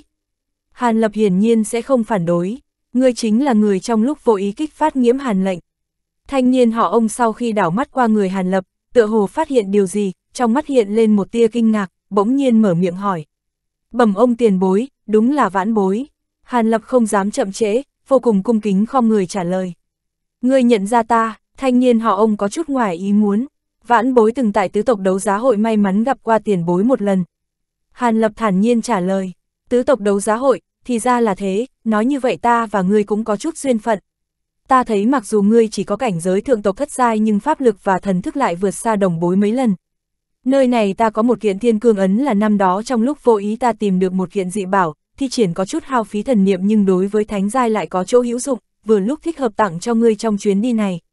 Thanh niên họ ông cẩn thận nhìn Hàn Lập vài lần, sau khi hơi trầm ngâm liền nói ra những lời nằm ngoài dự liệu của mọi người. Vừa dứt lời, hắn phất tay một cái, nhất thời một mảnh ngân quang bay về phía Hàn Lập. Hàn Lập đầu tiên là ngẩn ra, lập tức vừa mừng vừa sợ, tâm niệm nhanh chóng xoay chuyển, miệng liên tục cảm tạ, giơ tay bắt lấy. Kết quả, một mảnh thay hà từ đầu ngón tay phun ra đem vật ấy vây lại nhiếp vào trong tay. Hắn tập trung nhìn lại, rõ ràng là một ngân sắc tiểu ấn hình dạng cổ xưa, lớn cỡ 5-6 tấc. Đem ấn này lật lại, phía dưới hiện lên ba cổ văn. Thiên cương ấn, đây là một loại thượng cổ văn tự vô cùng hiếm thấy, cũng may năm xưa hắn có học hỗn tạp, cho nên vừa liếc mắt một cái liền nhận ra. chương 1670, nhiễm hàn nghi. Mặc dù Hàn Lập cảm thấy bất ngờ đối với việc vị đại thừa kỳ này ban cho một kiện dị bảo nhưng hiển nhiên sẽ không cự tuyệt. Sau khi thu bảo vật về, trong lòng âm thầm tự định giá nguyên nhân đối phương làm như vậy. Đám người thiên cơ tử thấy vậy, cũng lộ ra vẻ ngạc nhiên không khỏi nhìn nhau một cái. Nguyên vốn tưởng rằng thanh niên họ ông sẽ nói thêm điều gì đó với Hàn Lập nhưng thanh niên lại ngậm miệng không nói gì nữa. Thiên cơ tử ngẩn người nhưng lập tức cười nói với Hàn Lập. Hàn đạo hữu có thể được ông tiền bối ban bảo vật, xem như là thiên đại phúc khí. Nghĩ rằng có bảo vật này hộ thân trong nhiễm hàn giới hơn phân nửa là vô sự. Thời gian không còn nhiều nữa, trước tiên ta sẽ giới thiệu cho ngươi một chút về những người sẽ cùng ngươi tiến vào trong nhiễm hàn giới. Như vậy thì làm phiền tiền bối. Hàn lập cung kính trả lời, trước tiên ta giới thiệu ngươi một chút về Nguyệt Tiên Tử. Nàng cũng giống ngươi đều là người kích thích nhiễm hàn lệnh, cho nên sẽ là người mang một đội khác vào bên trong. Mặc dù truyền tống sau nhưng hai đội các ngươi sẽ được truyền tốn không cách nhau quá xa. Nếu ở bên trong có gặp nhau thì nên chiếu cố nhau một chút. Thiên cơ tử chỉ vào một nữ tử khuôn mặt tái nhợt, mặc cung trang, giới thiệu. Hóa ra là Nguyệt Tiên Tử. Hàn Lập quay đầu đánh giá nữ tử này một cái, nhất thời không thể nhìn ra được đối phương là người tộc nào, mỉm cười ôm quyền nói. Vị Nguyệt Tiên Tử này thản nhiên gật đầu với Hàn Lập, vẫn chưa nói gì. Vị này chính là Thạch Côn ở Thạch Kiến Tộc, một thân thần thông phòng ngự, cũng tính là số một số hai trong các ngươi. Bên cạnh là phong khiếu của thanh tộc và hai vị huynh đệ song sinh vân đằng tộc am hiểu liên thủ đối địch. thiên cơ tử lần lượt chỉ ra những tồn tại luyện lư kỳ đỉnh giai. Thiên cơ tử cũng không nói rõ, mỗi người chỉ nói sơ vài câu cho nên chỉ một lát đã giới thiệu tất cả mọi người. Mà những người này đối với một tồn tại thất giai như Hàn Lập thì có bất động thanh sắc, có lạnh lùng, chỉ có một số người là tươi cười với hắn.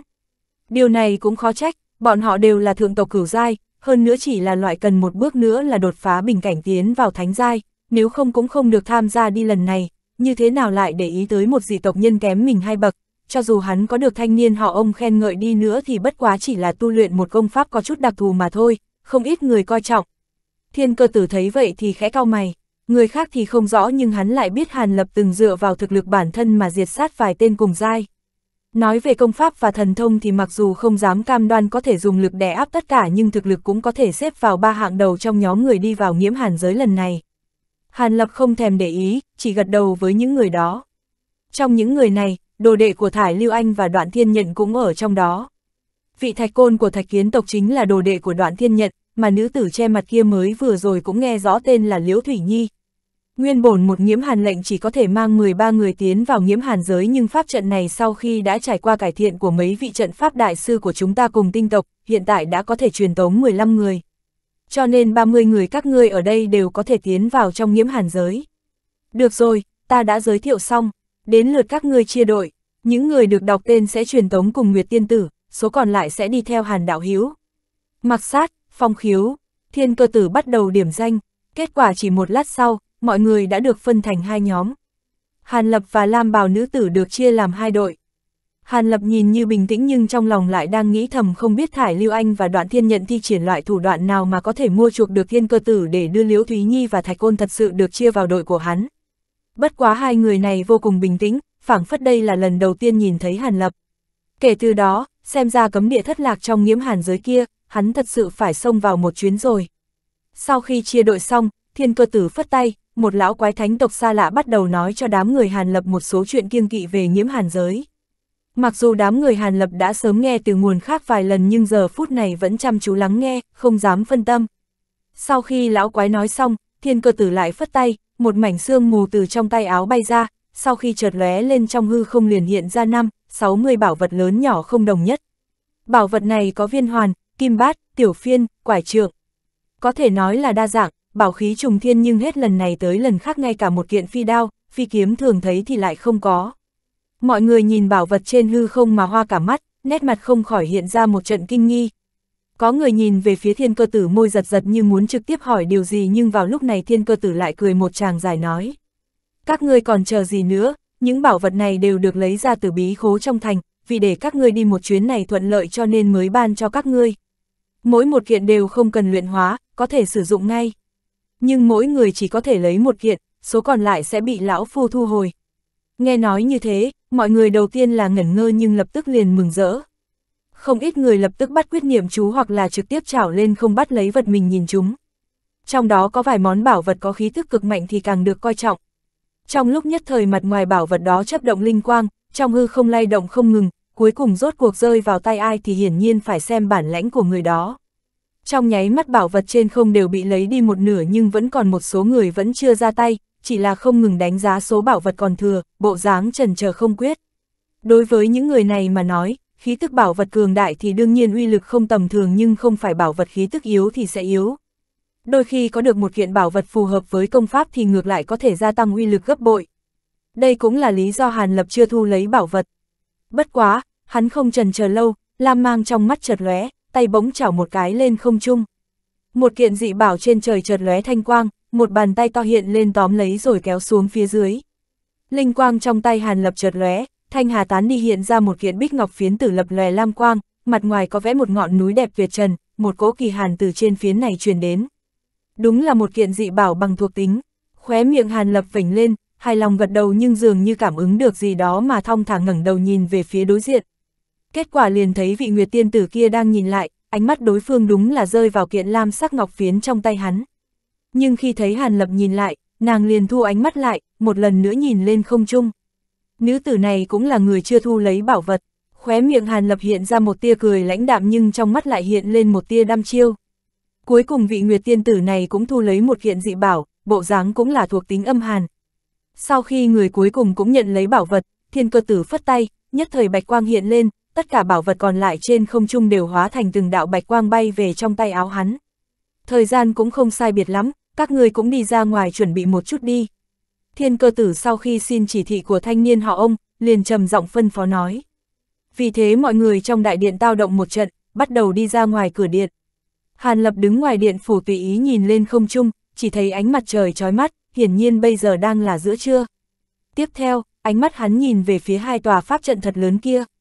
Chỉ thấy trong hai tòa trận pháp đã có hơn trăm tên giáp sĩ cầm trận bàn và trận kỳ đứng chờ. Pháp trận này khảm vô số linh thạch, bộ dáng chỉ còn chờ phát động. Bất quá Hàn Lập bỗng híp mắt nhìn lên trời cao, trong hư không bất ngờ xuất hiện một quang cầu cỡ đầu người, mặt ngoài chấp động ngũ sắc linh quang không ngừng, bên trong mơ hồ có thứ gì đó. Hàn Lập giật mình, tâm thần sau khi cảm ứng liền biết được trong quang cầu chính là nghiễm hàn lệnh mà mình vô tình kích phát lúc trước. Chỉ khác biệt là lệnh bài này tựa hồ bị ngũ sắc quang cầu tạm thời cấm chế, giờ phút này hắn không có cách nào thúc giục được. Lúc này thiên cơ tử cũng từ trong điện phủ đi ra, dừng lại tại cửa điện một chút, sau đó ngẩng đầu nhìn mặt trời, trong mắt chợt lóe tinh mang. Thời gian đã đến, mang nhiễm hàn nghi ra, hắn đột nhiên phân phó với giáp sĩ gần đó một tiếng. Vâng, sau một tiếng đáp ứng, nhất thời vài tên giáp sĩ lập tức hóa thành từng đạo ngân hồng bay vào trong đại điện. Một lát sau, mấy người này cố hết sức nâng một vật cực kỳ lớn từ trong điện đi ra. Vật này cao chừng hơn 10 trượng, toàn thân phảng phất như một màu xanh nhưng hết lần này tới lần khác bên ngoài lại có mười mấy pho tượng rồng nhắm mắt làm cho nó có vẻ thần bí vô cùng. ầm một tiếng, nhiễm hàn nghi được đặt giữa sân, thiên cơ tử nhíu mày, giơ tay bắt quyết, một đạo bạch sắc pháp quyết bay ra, chợt lóe lên rồi tiến nhập vào trong nhiễm hàn nghi không thấy bóng dáng. Mặt ngoài thanh sắc đại trung lập tức sáng lên, đồng thời vô số thanh sắc phù văn hiện lên, mười mấy pho tượng rồng nhúc nhích như sống lại. Mọi người kể cả Hàn Lập đều không ngừng đánh giá vật ấy, nhưng hiển nhiên là không thể nhìn ra danh tiếng của nó. Lúc này thiên cơ tử không hề để ý tới nhiễm hàn nghi nữa mà đứng yên tại chỗ như chờ gì đó. Còn thanh niên họ ông thì không biết vì sao vẫn chưa từ trong điện phủ đi ra. chương 1671, nhập giới. Những tu sĩ dị tộc muốn đi vào nhiễm hàn giới không ngừng đánh giá cự trận trước mặt, nhìn chằm chằm vào nhiễm hàn nghi sắc mặt trở nên trầm trọng. Đây là bởi vì nhiễm hàn nghi có chỗ huyền diệu đối với việc đột phá bình cảnh nhưng số tu sĩ chết trong đó cũng không ít. Những người đó vô luận là tư chất hay thần thông thì hiển nhiên cũng giống như bọn họ. Điều này làm cho những dị tộc nhân này có chút bất an. Hàn lập thần sắc bình tĩnh đứng ở một góc, không nhìn pháp trận cũng không chú ý đến nhiễm hàn nghi, chỉ là ngẩng đầu nhìn mặt trời cực nóng kia suy nghĩ không ngừng. Thời gian từng chút trôi qua, không biết bao lâu sau đột nhiên có một tiếng rồng ngâm từ giữa sân phóng thẳng lên cao. Thần sắc hàn lập vừa động, nhất thời cúi đầu nhìn về phía sân rộng. Mười mấy con long tượng đều mở hai mắt, chấp động kim sắc dị mang, ngâm lên từng hồi. Ngũ sắc quang mạc tỏa ra, vô luận là dị tộc nhân hay là giáp sĩ khi nhìn thấy màn này đều yên tĩnh không tiếng động. Nhiễm hàn giới đã mở ra, bắt đầu kích thích pháp trận mở ra thông đạo. Một thanh âm lạnh lùng bỗng nhiên từ trong đại điện truyền ra, băng hàn thấu xương. Đúng là lời nói của vị thanh niên họ ông kia, tiếng phân phó này khiến cho mọi người trong sân đều dùng mình. Nguyên bổn những dị tộc nhân đứng trong pháp trận lúc này đều đồng thời thúc giục trận kỳ trong tay. Vô số pháp quyết đủ mọi màu sắc từ trong pháp khí bay ra nhập vào trong pháp trận. Hai pháp trận phát ra tiếng xé gió, linh thạch các màu bắt đầu nhấp nháy tản ra khí tức cực kỳ kinh người. Tựa hồ chịu ảnh hưởng của pháp trận, ngũ sắc quang mạc trên trời cao đột nhiên tối sầm lại, hư không hiện ra một tảng mây đen lớn đem không trung hoàn toàn che lại. Tiếp theo, cuồng phong gào thét, từng đạo ngân xà chớp động, hắc sắc tuyển qua lớn nhỏ không đồng nhất chợt hình thành bắt đầu thôn phệ lẫn nhau. Trong lúc nhất thời, thiên tượng cực kỳ kinh người, pháp trận và thiên tượng bị ngũ sắc quang mang bao vây mà quang cầu thì giờ phút này đang bạo liệt lộ ra kim sắc lệnh bài bên trong. Hàn đạo hữu Nguyệt tiên tử, các ngươi dẫn đầu tiến vào trong pháp trận, có thể thúc giục nhiễm hàn lệnh. Thiên cơ tử nhìn thấy cảnh này, không chút do dự quát to. Hàn Lập và Nguyệt Tiên Tử không dám chậm trễ, lúc này phân biệt đi nhanh đến hai pháp trận. Những người còn lại cũng biến sắc, đi theo phía sau. Trong pháp trận, những dị tộc nhân thúc giục pháp khí đều rời khỏi pháp trận, chỉ là pháp quyết trong tay vẫn ảo ảo tuôn ra từ trận kỳ, trận bàn, không chút dừng lại. Hàn Lập đi vào trong pháp trận bỗng nhiên cảm thấy trong lòng chấn động, mối liên hệ giữa nghiễm hàn lệnh tăng mạnh gấp mấy lần. Nguyên bổn ban đầu chỉ lập lòe thì giờ phút này không ngừng phát ra tiếng xé gió, phảng phất bởi vì Hàn Lập đến mà cộng hưởng. Cách thúc giục thì thiên cơ tử đã sớm nói qua cho hắn biết cho nên Hàn Lập không chút do dự đi tới trung tâm pháp trận, hai tay nhanh chóng bắt quyết, 10 ngón tay hoạt động liên tục, từng đạo pháp quyết được bắn ra, chỉ mấy lần chấp động liền bắn lên lệnh bài phía trên không. Nhất thời nhiễm hàn lệnh quang mang đại phóng, từ mặt ngoài hiện ra vô số kim ngân phù văn. Phù văn xoay tròn rồi hợp lại thành một phù văn quang trận đường kính mấy trượng mà lấy nhiễm hàn lệnh làm trung tâm. Hàn lập hít sâu một hơi, pháp quyết trong tay dừng lại, vươn một ngón tay điểm lên không trung. Phốc suy một tiếng, một đạo thanh sắc quang trụ phun ra bắn lên lệnh bài. Nhất thời lệnh bài vang lên một tiếng xé gió, cả quang trận run rẩy, pháp trận dần chuyển động phun ra một ngân sắc quang trụ thô to. Quang trụ phóng thẳng leo cao, chợt lóe lên liền chui vào trong hắc sắc tuyển qua trên trời không thấy bóng dáng mà cũng không có ý dừng lại. Tiếng ầm ầm từ không trung truyền đến, tuyển qua sau khi quang trụ nhập vào liền giống như bị cực lực quấy nhiễu, hắc khí trong không trung không ngừng cuồng trướng, hư không bốn phía lập tức bị xé nát. Bất quá, chỉ ngắn ngủn vài lần hô hấp, tuyển qua trên không trung không còn sót lại chút gì, chỉ còn lại hai vật khổng lồ tại không trung không ngừng phun ra hắc khí nồng đậm. Lúc này, lệnh bài trong quang trận sau khi đánh ra một tiếng sét liền hóa thành một đạo ngân sắc điện quang biến mất nhưng một khắc sau lại bỗng nhiên xuất hiện tại trung tâm tuyển qua. Sau một tiếng nổ kinh thiên động địa, kim ngân điện quang bạo phát, phảng phất như mặt trời mới mọc, một đoàn kim ngân quang vượng hiện lên giữa tuyển qua, sau đó bay vào chỗ thâm sâu. Sau một khắc, một cỗ không gian ba động phảng phất có thể hủy thiên diệt địa hiện lên trong hắc sắc tuyển qua. Hắc khí trong tuyền qua biến mất, trong hư không hiện ra một vết rách màu bạc chỉ lớn 7-8 trượng nhưng quỷ dị không nhúc nhích, phảng phất giống như bức tranh giữa hư không. Lúc này Hàn Lập cảm thấy thần niệm trong não đang điên cuồng tuôn ra, sắc mặt hắn liền đại biến, lập tức quát lớn. Còn chờ gì nữa, đến lúc rồi, ta không thể kiên trì lâu.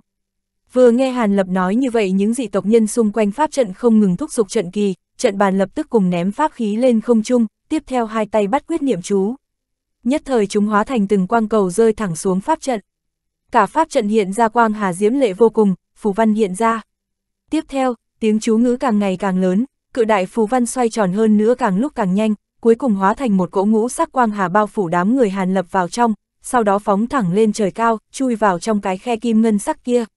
Bên kia, Nguyệt Tiên Tử cũng dẫn theo một đội chui vào khe tương tự.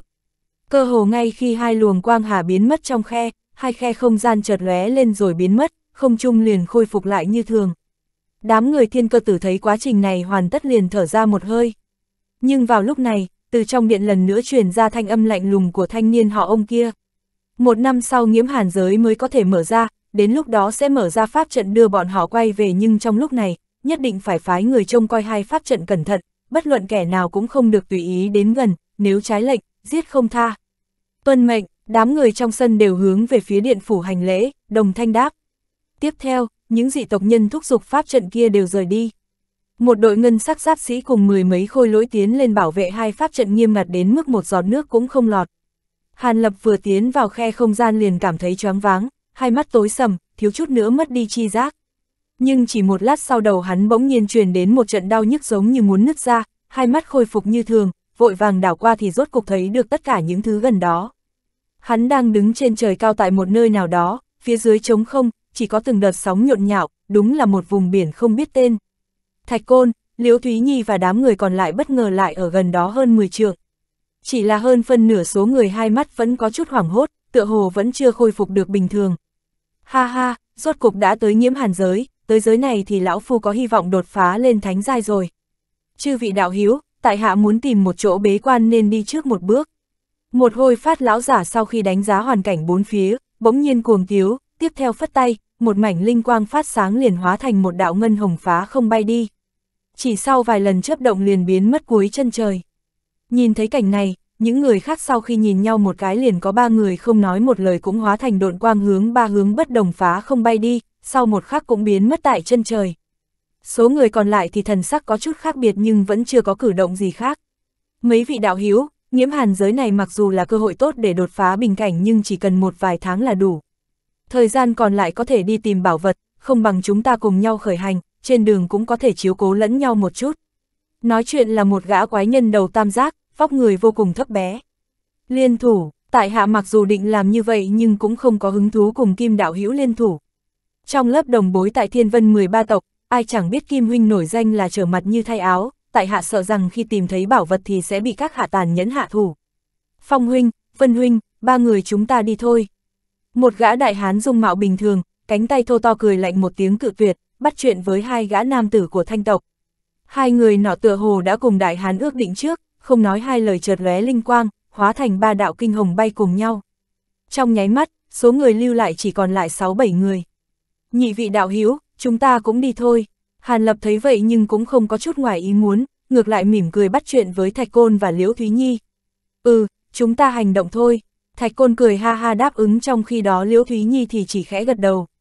Dưới ánh mắt kinh ngạc của mấy người khác, ba người Hàn Lập độn quang cùng nhau, chọn một phương hướng mà bay đi.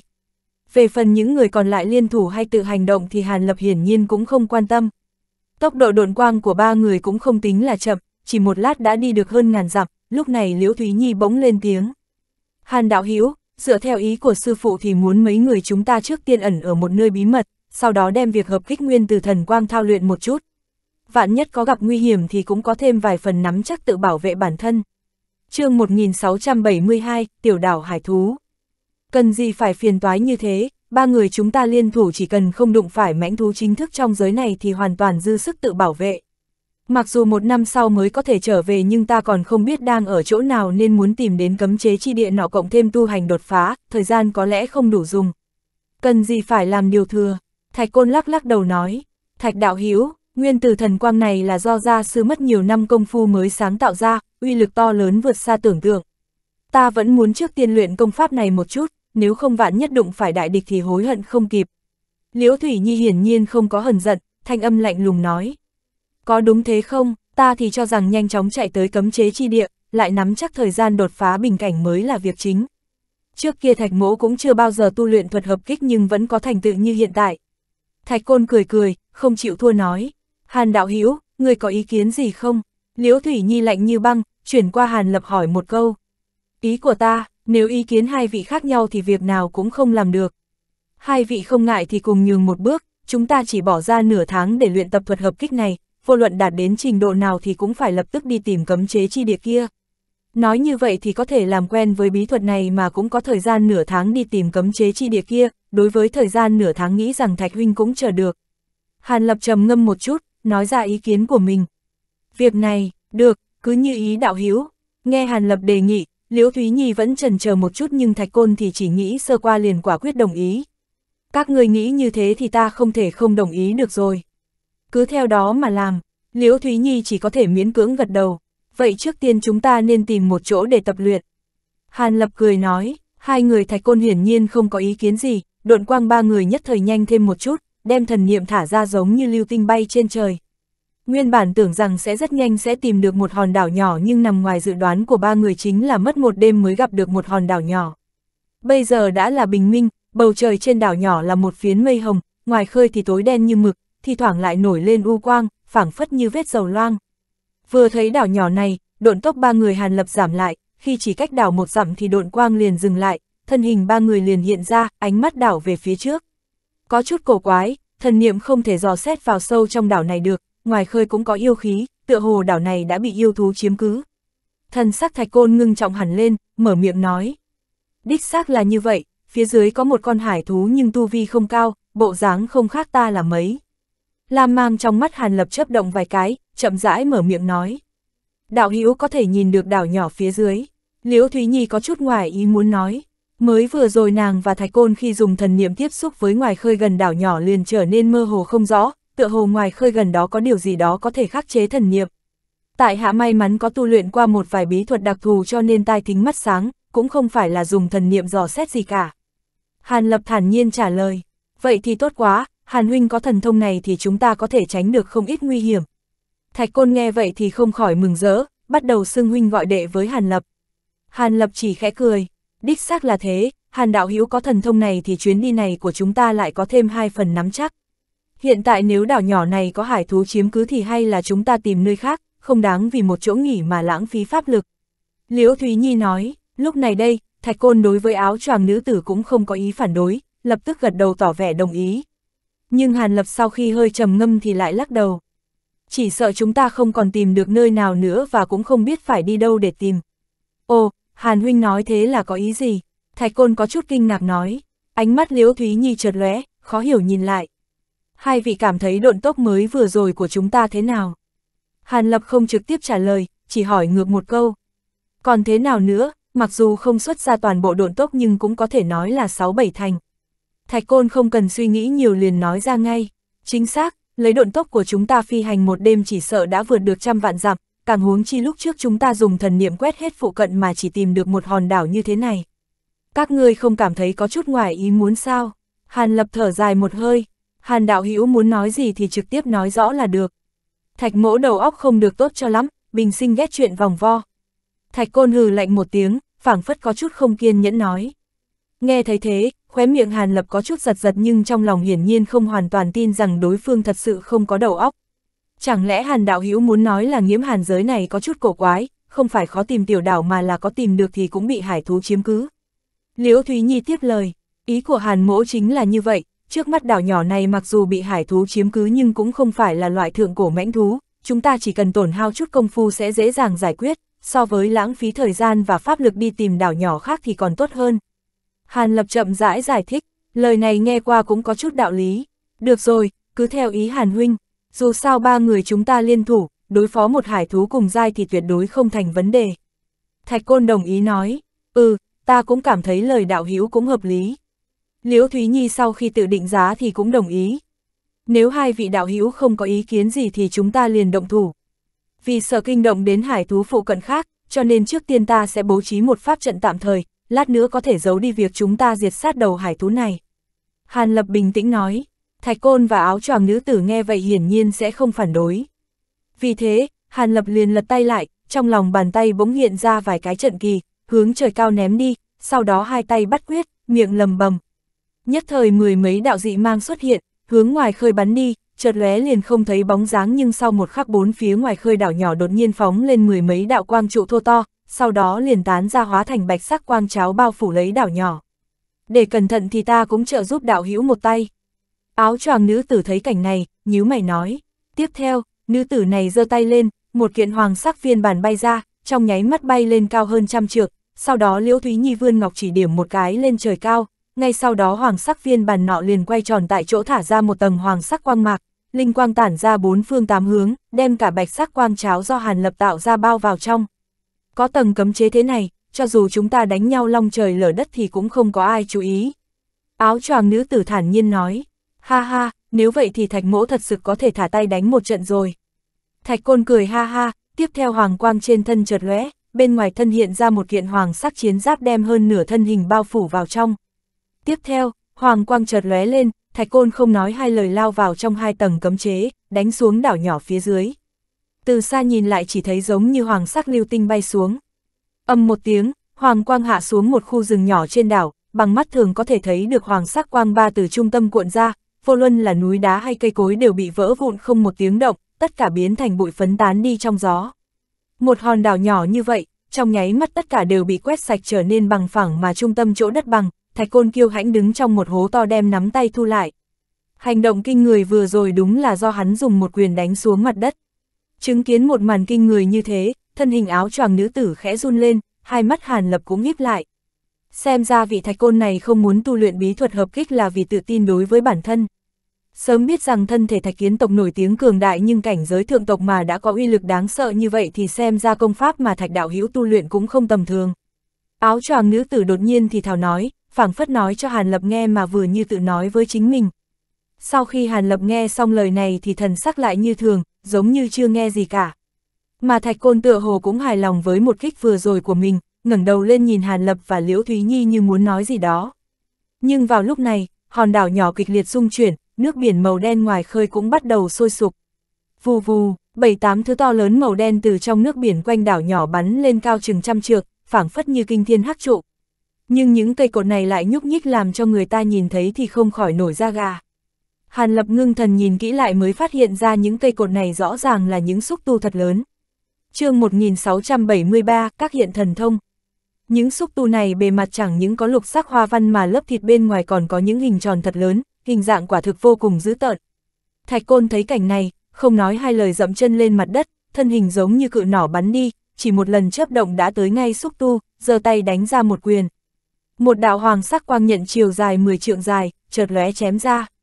Phốc suy một tiếng, hoàng sắc quang nhận dường như sắc bén vô cùng, xúc tu dễ dàng bị chém ra làm hai, từ chỗ bị đứt phun ra lượng lớn lục sắc huyết vụ, bầu trời gần đó nổi lên một hồi lục sắc tinh vũ.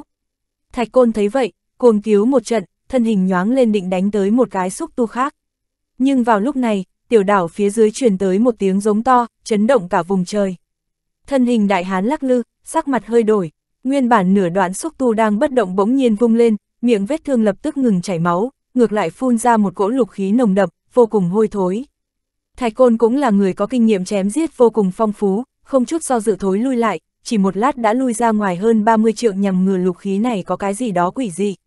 Nhưng hắn đã quá cẩn thận, lục khí này sau khi phóng lên không trung thì liền biến ảo thành một xúc tu khác giống y như lúc ban đầu. Thần sắc thạch côn trầm xuống nhưng không chút do dự lại vung tay đánh tới. Lại một đạo quang nhận dài mấy trượng chém ra, nhưng lúc này đây, da thịt bên ngoài xúc tu mới co lại, phun ra một cỗ hắc sắc quang hà. Hoàng sắc nhận mang vừa chạm lên, không ngờ lại phát ra tiếng kim loại va chạm. Mặc dù vẫn phá tan một phần hắc quang nhưng khi nhận mang gần chạm vào xúc tu thì liền biến mất. Lúc này tiểu đảo phía dưới bỗng phát ra một tiếng giống to, xúc tu kia đột nhiên rơi xuống, phảng phất như thái sơn áp đỉnh hung hăng đánh xuống đầu thạch côn. Xúc tu chưa hạ xuống nhưng một cỗ ác phong đã nổi lên cơ hồ khiến cho thân hình người ta không thể nào đứng vững được. Sắc mặt thạch côn trầm xuống, hét lớn một tiếng, hoàng quang tản ra minh mông vung lên đấm lên không trung. Lúc này đây, Hàn Lập và Liễu Thúy Nhi ở trên không trung đều nhìn thấy cảnh này rõ ràng. Nắm tay của thạch côn ngay khi đánh ra, trong phút chốc liền bành trướng trở nên to gấp 6 lần ban đầu, hơn nữa bề mặt lại có hoàng sắc phù văn lưu truyền, bạo liệt không ngừng. Một vòng hoàng sắc quang vượng hiện lên, tản ra quang mang ba động. Xúc tu thật lớn kia vừa tiếp xúc với hoàng quang, mặt ngoài lập tức vặn vẹo, phảng phất như bị một cố cự lực đánh chúng bắt đầu nứt ra, da thịt lần nóa lại bị đánh nát bấy, cuối cùng biến mất giữa không trung. Một quyền này của thạch côn uy lực tựa hồ còn hơn cả một kích lúc trước. Lúc này đây ngay cả Hàn Lập cũng giật mình không ít. Nhưng điều này lại càng chọc giận hải thú chưa vô danh phía dưới tiểu đảo, nó điên cuồng hét lên. Mấy xúc tu còn lại cũng đồng thời múa may một trận, một chút hóa thành vô số hắc ảnh hướng thạch côn cuốn tới. Những xúc tu khổng lồ như thế mang theo thế gió rít gào, cơ hồ đem cả tiểu đảo vây vào trong. Trong lúc nhất thời, cơn lốc hư ảnh đan vào nhau, hoàn toàn bao phủ lấy thạch côn. Xem ra không cần chúng ta ra tay, một mình thạch đạo hữu đủ để giải quyết hải thú này rồi. Nhìn thấy cảnh này, Liễu Thúy Nhi nhẹ thở ra một hơi, chậm rãi nói. Đích xác là như thế, thân thể thạch huynh cực kỳ cường đại, ngay cả khi hải thú có một chút thần thông thì kết quả cuối cùng vẫn là bị diệt sát. Bất quá, hải thú này tựa hồ nắm giữ thần thông bất diệt thể, chúng ta hay là trực tiếp xuống dưới biển, đem bản thể của nó giải quyết. Dù sao kéo dài thời gian thì cũng không phải là chuyện tốt. Hàn Lập trầm ngâm một chút, trả lời, cũng đúng, vừa hay, công pháp tu luyện của ta chính là thủy thuộc tính, bản thể của con thú này cứ giao cho ta là được. Áo choàng nữ tử sau khi tự định giá, liền gật đầu nói. Nếu tiên tử nói như vậy, Hàn mỗ sẽ không tranh việc này. Hàn Lập có chút ngoài ý muốn nhưng lập tức cười đồng ý. Liễu Thúy Nhi cũng không nói gì thêm, sau khi bắt quyết, lam quang ngoài thân chợt lóe, hóa thành một đạo lam sắc kinh hồng bắn thẳng xuống phía dưới, chỉ vài lần chấp động đã bay vào trong lòng biển, đồng thời ngay lúc này, nguyên bổn cơn lốc do xúc tu biến ảo thành đột nhiên phát nổ.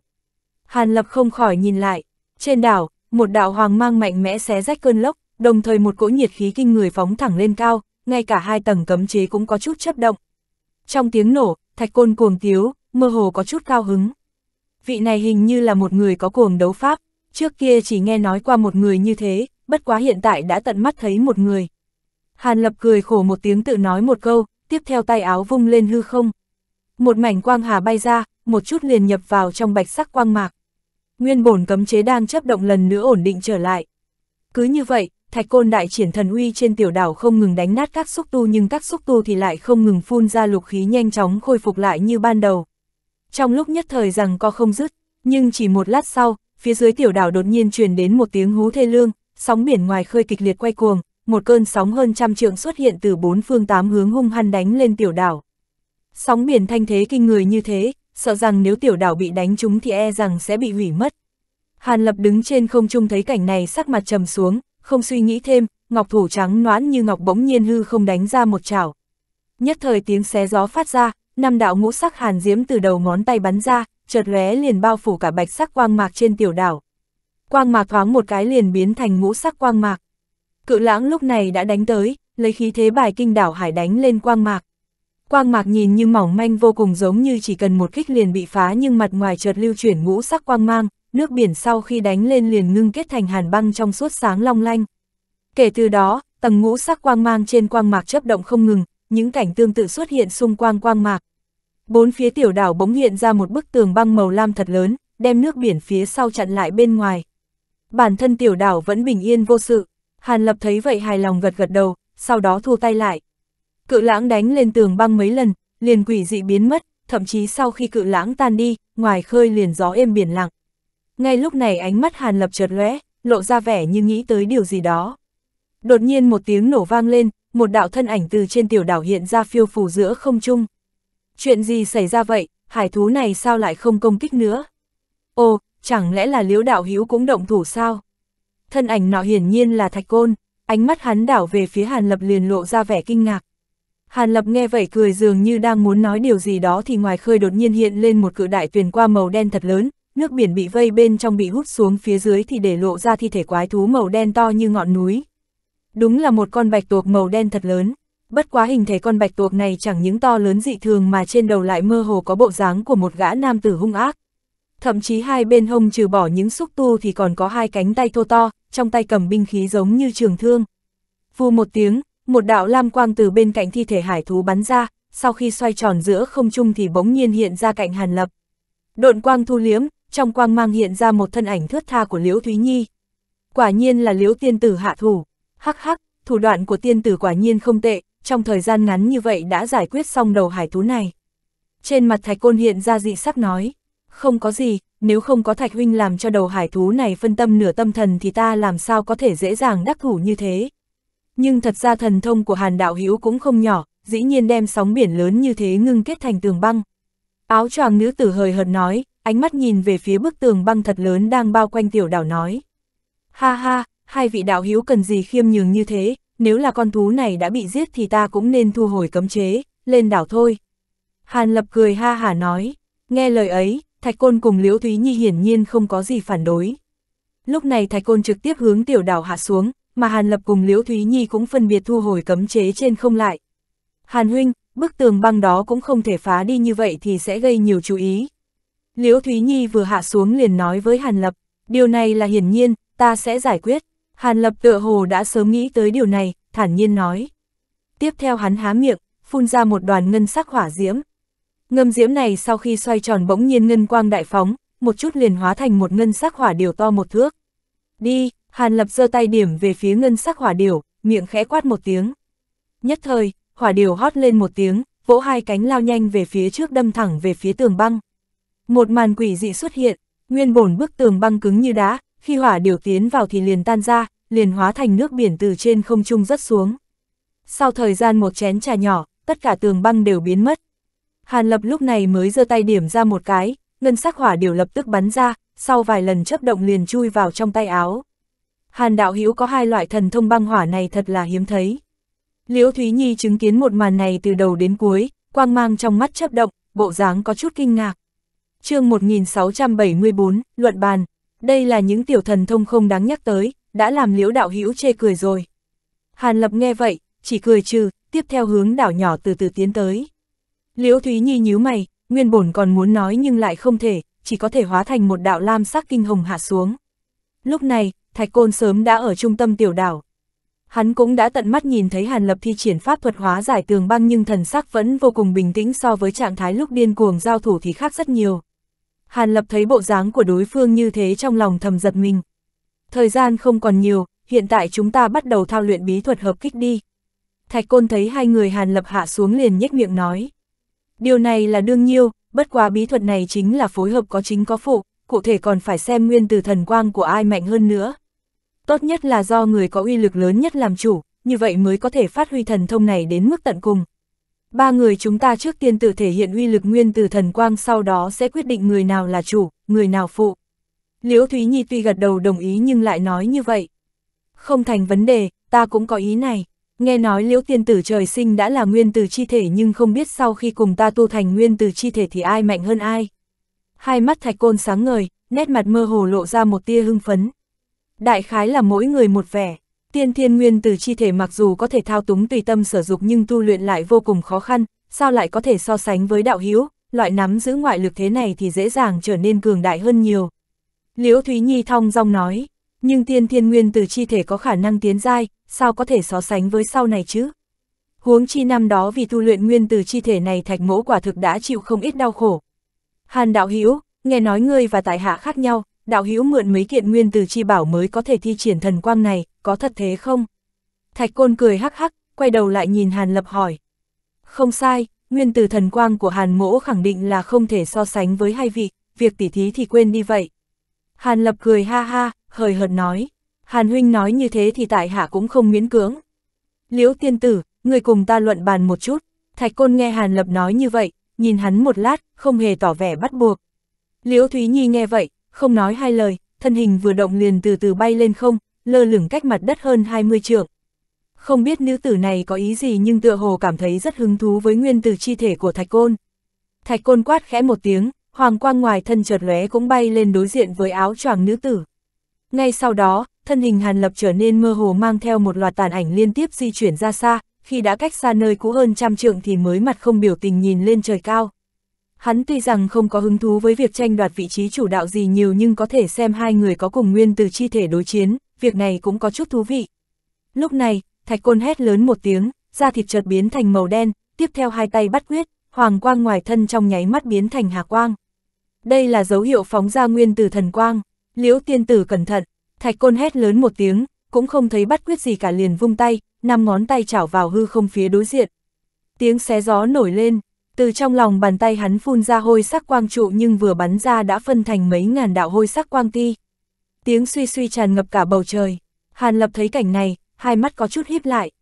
Liễu Thúy Nhi sau khi trông thấy cảnh này, không chút hoang mang một tay bắt quyết, sau đó thân ảnh thước tha quang mang đại phóng cũng đồng dạng phóng ra hôi sắc quang hà. Quang hà sau khi phóng ra liền hóa thành một quang luân thật lớn, đường kính 3-4 trượng, chuyển động không ngừng. Trung tâm quang luân lóe lên, một mảnh hôi quang kích bắn ra trực tiếp nghênh đón quang ti đối diện. Trong chốc lát, hai người đã va chạm, không khí liền trở nên có chút bạo liệt. Cũng vì tu vi cùng bổn nguyên chi lực của hai người ngang nhau, dù cho nguyên từ thần quang thần diệu nhưng cũng không thể phát huy được uy năng vốn có của mình, chỉ có thể đơn thuần dựa vào uy lực mà phân cao thấp. Nhưng sau khi không chung hết bạo liệt, vô luận là quang ti hay hôi sắc quang hà đều biến mất, bộ dáng bất phân thắng bại. Được, khá lắm, xem chiêu tiếp theo của ta đây. Thạch côn cuồng tiếu một trận, hai tay đột nhiên hợp lại trước ngực.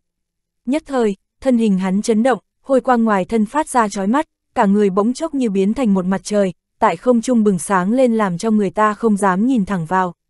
Liễu Thúy Nhi thấy cảnh này, khuôn mặt ẩn sau lớp vài lần đầu tiên lộ ra vẻ ngưng trọng, không nói hai lời, hai tay liền bắt quyết đồng thời trong miệng bắt đầu lẩm bẩm niệm chú. Kết quả, hôi sắc quang luân sau lưng trở nên mơ hồ, thế xoay tròn cực nhanh, hơn nữa trong quang luân hiện ra vô số phù văn bay vút ra rồi một lần nữa tổ hợp lại. Trong nháy mắt, một phù văn thật lớn đã hình thành tại trung tâm quang luân. Đi, thạch côn quát khẽ một tiếng, đồng thời hai cánh tay vừa động hóa thành vô số hư ảnh kích về phía trước, trong nháy mắt đánh ra cả trăm quyền. Mỗi quyền ảnh sau khi chấn động liền hóa thành một hôi sắc quang cầu bắn đi. Trong phút chốc, hàng trăm hôi sắc quang cầu lấy khí thế phô thiên cái địa bắn thẳng về phía áo choàng nữ tử, tiếng gió rít nổi lên, thanh thế cực kỳ kinh người. Đối mặt với công kích kinh người như thế, Liễu Thúy Nhi chỉ hừ lạnh một tiếng, vươn ngón chỉ điểm về phía đối diện một cái. Hôi sắc quang luân sau lưng phát ra tiếng xé gió, đồng thời ngừng xoay trong chốc lát, phù văn thật lớn kia từ trung tâm quang luân bắn ra. Một màn quỷ dị xuất hiện, phù văn kia khi bắn ra liền cuồn trướng, chỉ vài lần chấp động đã biến to hơn 10 trượng, cơ hồ che lấp nửa bầu trời trực tiếp nghênh đón hôi sắc quang cầu phía đối diện. Vô thanh vô tức, hàng trăm quang cầu khi đánh lên phù văn, quang mang chợt lóe liền biến mất, giống như châu đất xuống biển, một đi không trở lại. Nguyên bổn thạch côn còn muốn phát động công kích lần hai, nhất thời ánh mắt ngẩn ngơ ngừng cử động trong tay lại, một lúc lâu sau mới lộ ra một nụ cười khổ.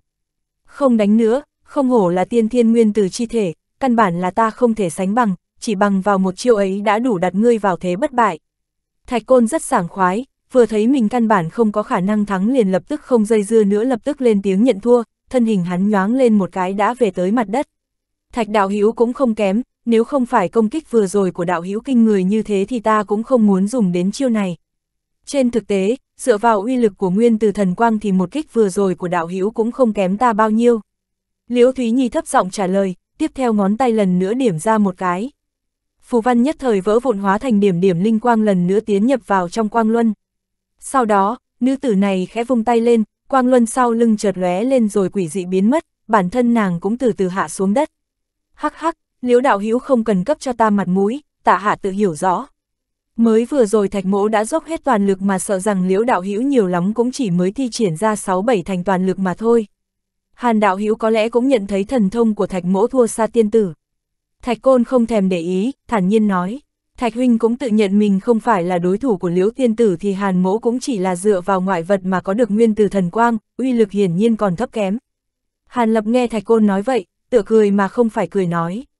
Liễu Thúy Nhi và Thạch Côn hiển nhiên không tin hoàn toàn lời của Hàn Lập nhưng nếu đối phương dựa vào ngoại vật thì thật sự không thể sánh với hai người bọn họ được. Lúc này, hai người bọn họ cho dù khách khí bao nhiêu đi nữa thì cũng không có ý định kiểm tra Hàn Lập mà nếu bọn họ mà biết được bảo vật của Hàn Lập lại là một ngọn nguyên từ thần Sơn thì tuyệt không dám nghĩ như vậy. Lần giao thủ này hiển nhiên là xác định lấy Liễu Thúy Nhi làm chủ, Hàn Lập và Thạch Côn làm phụ. Lúc này ba người bắt đầu bố trí ảo trận thật lớn gần đó đem tình hình trên tiểu đảo hoàn toàn che lại, sau đó mới bắt đầu luyện cách thi triển thuật hợp kích. Mười ngày chớp mắt một cái đã trôi qua, trong khoảng thời gian này cũng không có người ngoài hoặc hải thú từ nơi khác đến, cho nên không xảy ra bất cứ điều gì ngoài ý muốn. Kết quả, qua bốn ngày tiếp theo ảo trận trên đảo đột nhiên biến mất, ngay sau đó ba đạo nhân ảnh bay lên không, chỉ chợt lóe lên liền bay về phía chân trời. Ba nhân ảnh này dĩ nhiên chính là đám người Hàn Lập. Trong mắt áo choàng nữ tử hiện lên vẻ vui mừng, thần sắc Hàn Lập thì bình tĩnh mà vẻ mặt của Thạch Côn thì bất cần, xem ra chuyện tu luyện vô cùng thuận lợi. Không nghĩ ra, lúc này đây tu luyện thuật hợp kích này lại thuận lợi như vậy, ba người chúng ta chỉ cần hơn 10 ngày là có thể thao túng như ý. Thật là việc ngoài mong đợi, Liễu Thúy Nhi có chút cảm khái nói.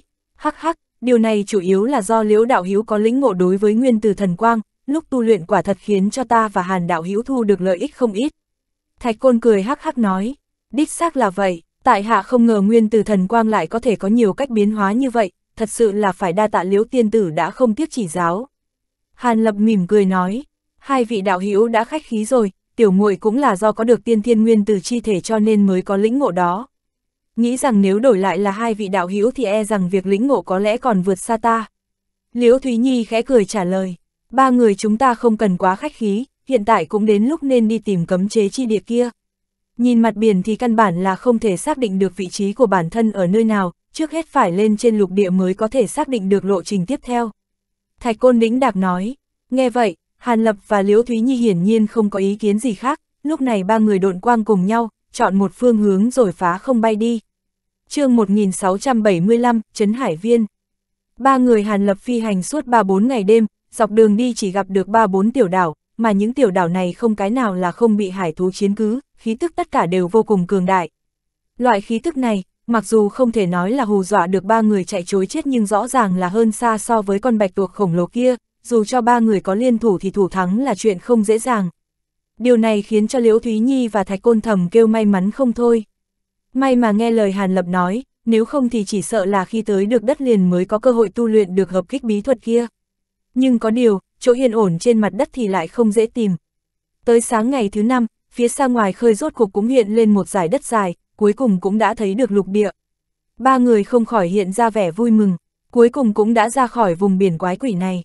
Thạch Côn cười ha ha nói, Thạch đạo hữu nên cẩn thận một chút thì hơn, dựa theo kinh nghiệm của tiền nhân thì nguy hiểm trên đất liền còn ghê gớm hơn so với trên biển. Chúng ta khi lên bờ, tốt nhất là nên đem khí thức thu liếm lại để tránh việc kinh động đến đám cổ thú hung mãnh. Liễu Thúy Nhi tuy cũng lộ ra vẻ mừng rỡ nhưng lại đề tỉnh nói. Liễu tiên tử yên tâm, thạch mỗ tuy hiếu chiến nhưng cũng có vài phần biết cân nhắc. Thạch côn dường như chẳng chút để ý trả lời. Liễu Thúy Nhi nghe vậy, lúc này mới thả lòng. Nguyên bổn với cảnh giới của đối phương những lời này hiển nhiên căn bản không cần nàng nói ra nhưng bởi vì thạch côn thật sự quá mức hiếu chiến cho nên nàng mới khuyên một câu. Hàn Lập nghe vậy, khóe miệng nổi lên vẻ tươi cười, mở miệng muốn nói gì đó với hai người thì đột nhiên ngoài khơi bỗng nhiên cuồng phong nổi lên, một cỗ sương mù hiện ra, nhanh chóng khách tán ra. Chuyện gì vậy? Hàn Lập ngẩn ra, hỏi một câu. Hai người Liễu Thúy Nhi hiển nhiên cũng thấy cảnh này, không khỏi liếc mắt nhìn nhau. Không cần nói thêm gì cả, cả ba người đang trong độn quang liền dừng lại để lộ ra thân hình, đồng thời nhìn về phía xa trước mặt. Cơ hồ ngay khi ba người làm dừng lại thì từ mặt biển phía xa truyền đến một tiếng xé gió, bạch sắc hải vụ bốc lên, phụ cận ngoài khơi một trận sóng gió mãnh liệt cuộn trào, đồng thời một cỗ khí tức man hoang kinh thiên từ phía trong sương mù phóng lên cao. Tiếp theo, một thân hình cự thú so với con bạch tuộc lúc trước còn muốn lớn hơn vài lần từ trong hải vụ hiện ra, quái vật toàn thân phủ lông hình dáng có chút mơ hồ giống cự viên nhưng trên đầu lại mọc ra một cái sừng. Quái thú vừa trồi lên khỏi mặt biển ngay lập tức vung tay nện vào ngực rầm rầm mấy phát, thanh âm va chạm vô cùng khó nghe nhưng khi ba người Hàn Lập nghe được tiếng động này thì sắc mặt đều đại biến, vội vàng thả ra linh quang hộ thể bảo hộ thân thể vào bên trong, mắt lộ ra dị sắc nhìn nhau một cái. Nguyên bổn tiếng va chạm quái dị vừa rồi truyền đến tai liền truyền đến một cảm giác đau đớn vô cùng, phảng phất như tinh huyết trong cơ thể quay cuồng một trận, làm cho tay chân bùn rùn. Điều này không khỏi làm cả ba người đều hoảng hốt một trận. Nhưng đám người Hàn Lập không lại không biết rằng tất cả bất quá mới chỉ là bắt đầu. Sau một khắc, hải thú giống cự viên kia đột nhiên mở miệng, điên cuồng giống lên, tiếng giống thao thao bất tuyệt, chấn động cả bầu trời. Trong tiếng giống, hải vụ phụ cận chẳng những biến mất mà ngay cả nước biến cũng bị âm ba của tiếng giống làm biến thành vô số tuyển qua lớn nhỏ không đồng nhất. Vô số hải ngư trực tiếp từ trong biển sâu nổi lên, hiển nhiên đã bị dư chấn của cự viên hải thú đánh chết. Trong lúc nhất thời, trăm dặm xung quanh nổi lên một mảnh trắng xóa, thi thể hải ngư các loại trải rộng. Lúc này, ba người Hàn Lập đang ở trong phạm vi của tiếng giống chẳng những vòng bảo hộ kịch liệt chấn động mà sắc mặt cả ba người đều vô cùng khó coi. Liễu Thúy Nhi sắc mặt tái nhợt, thân hình không tự chủ khẽ run lên, tùy thời có thể rớt xuống. Thạch côn mặc dù vẫn vững chãi như Thái Sơn nhưng nguyên bổn khuôn mặt hung ác thì giờ phút này gân xanh nổi lên, hai mắt phồng to, phảng phất như muốn liều mạng.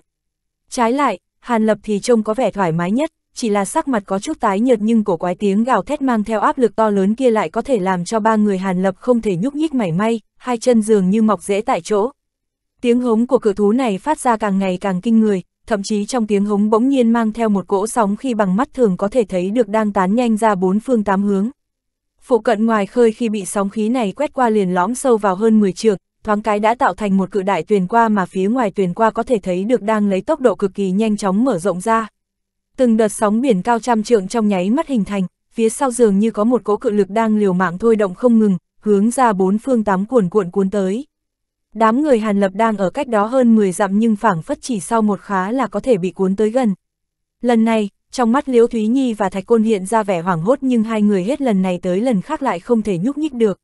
Mắt thấy âm ba sau vài lần chớp động đã lan tới cách bọn họ không xa, Thạch Côn liền hé miệng phát ra vài tiếng xé gió, hoàng mang ngoài thân chấp động nhưng cuối cùng lại không thể nhúc nhích mảy may. Kể từ đó, nét mặt Thạch Côn hiện lên vẻ sốt ruột, mồ hôi tuôn ra như tắm. Còn Liễu Thúy Nhi, trong mắt cũng đồng dạng lộ ra vẻ sợ hãi, thúc thủ vô sách.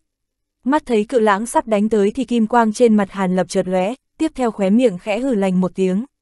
Tiếng hừ lạnh này không lớn nhưng rơi vào tai của hai người thạch côn thì lại khiến cho hai người này giật mình một cái, tiếp theo linh quang ngoài thân chợt lóe, trên vẻ mặt hiện ra vẻ vui mừng như điên. Thạch côn dẫm mạnh một cái liền hóa thành một đạo hoàng quang bắn nhanh đi, Liễu Thúy Nhi thì giơ tay bắt quyết, thân hình sau đó mơ hồ liền biến mất tại chỗ, khi hiện ra thì đã cách chỗ cũ hơn trăm trượng, lúc ẩn lúc hiện như vậy đã phi độn ra hơn 10 dặm.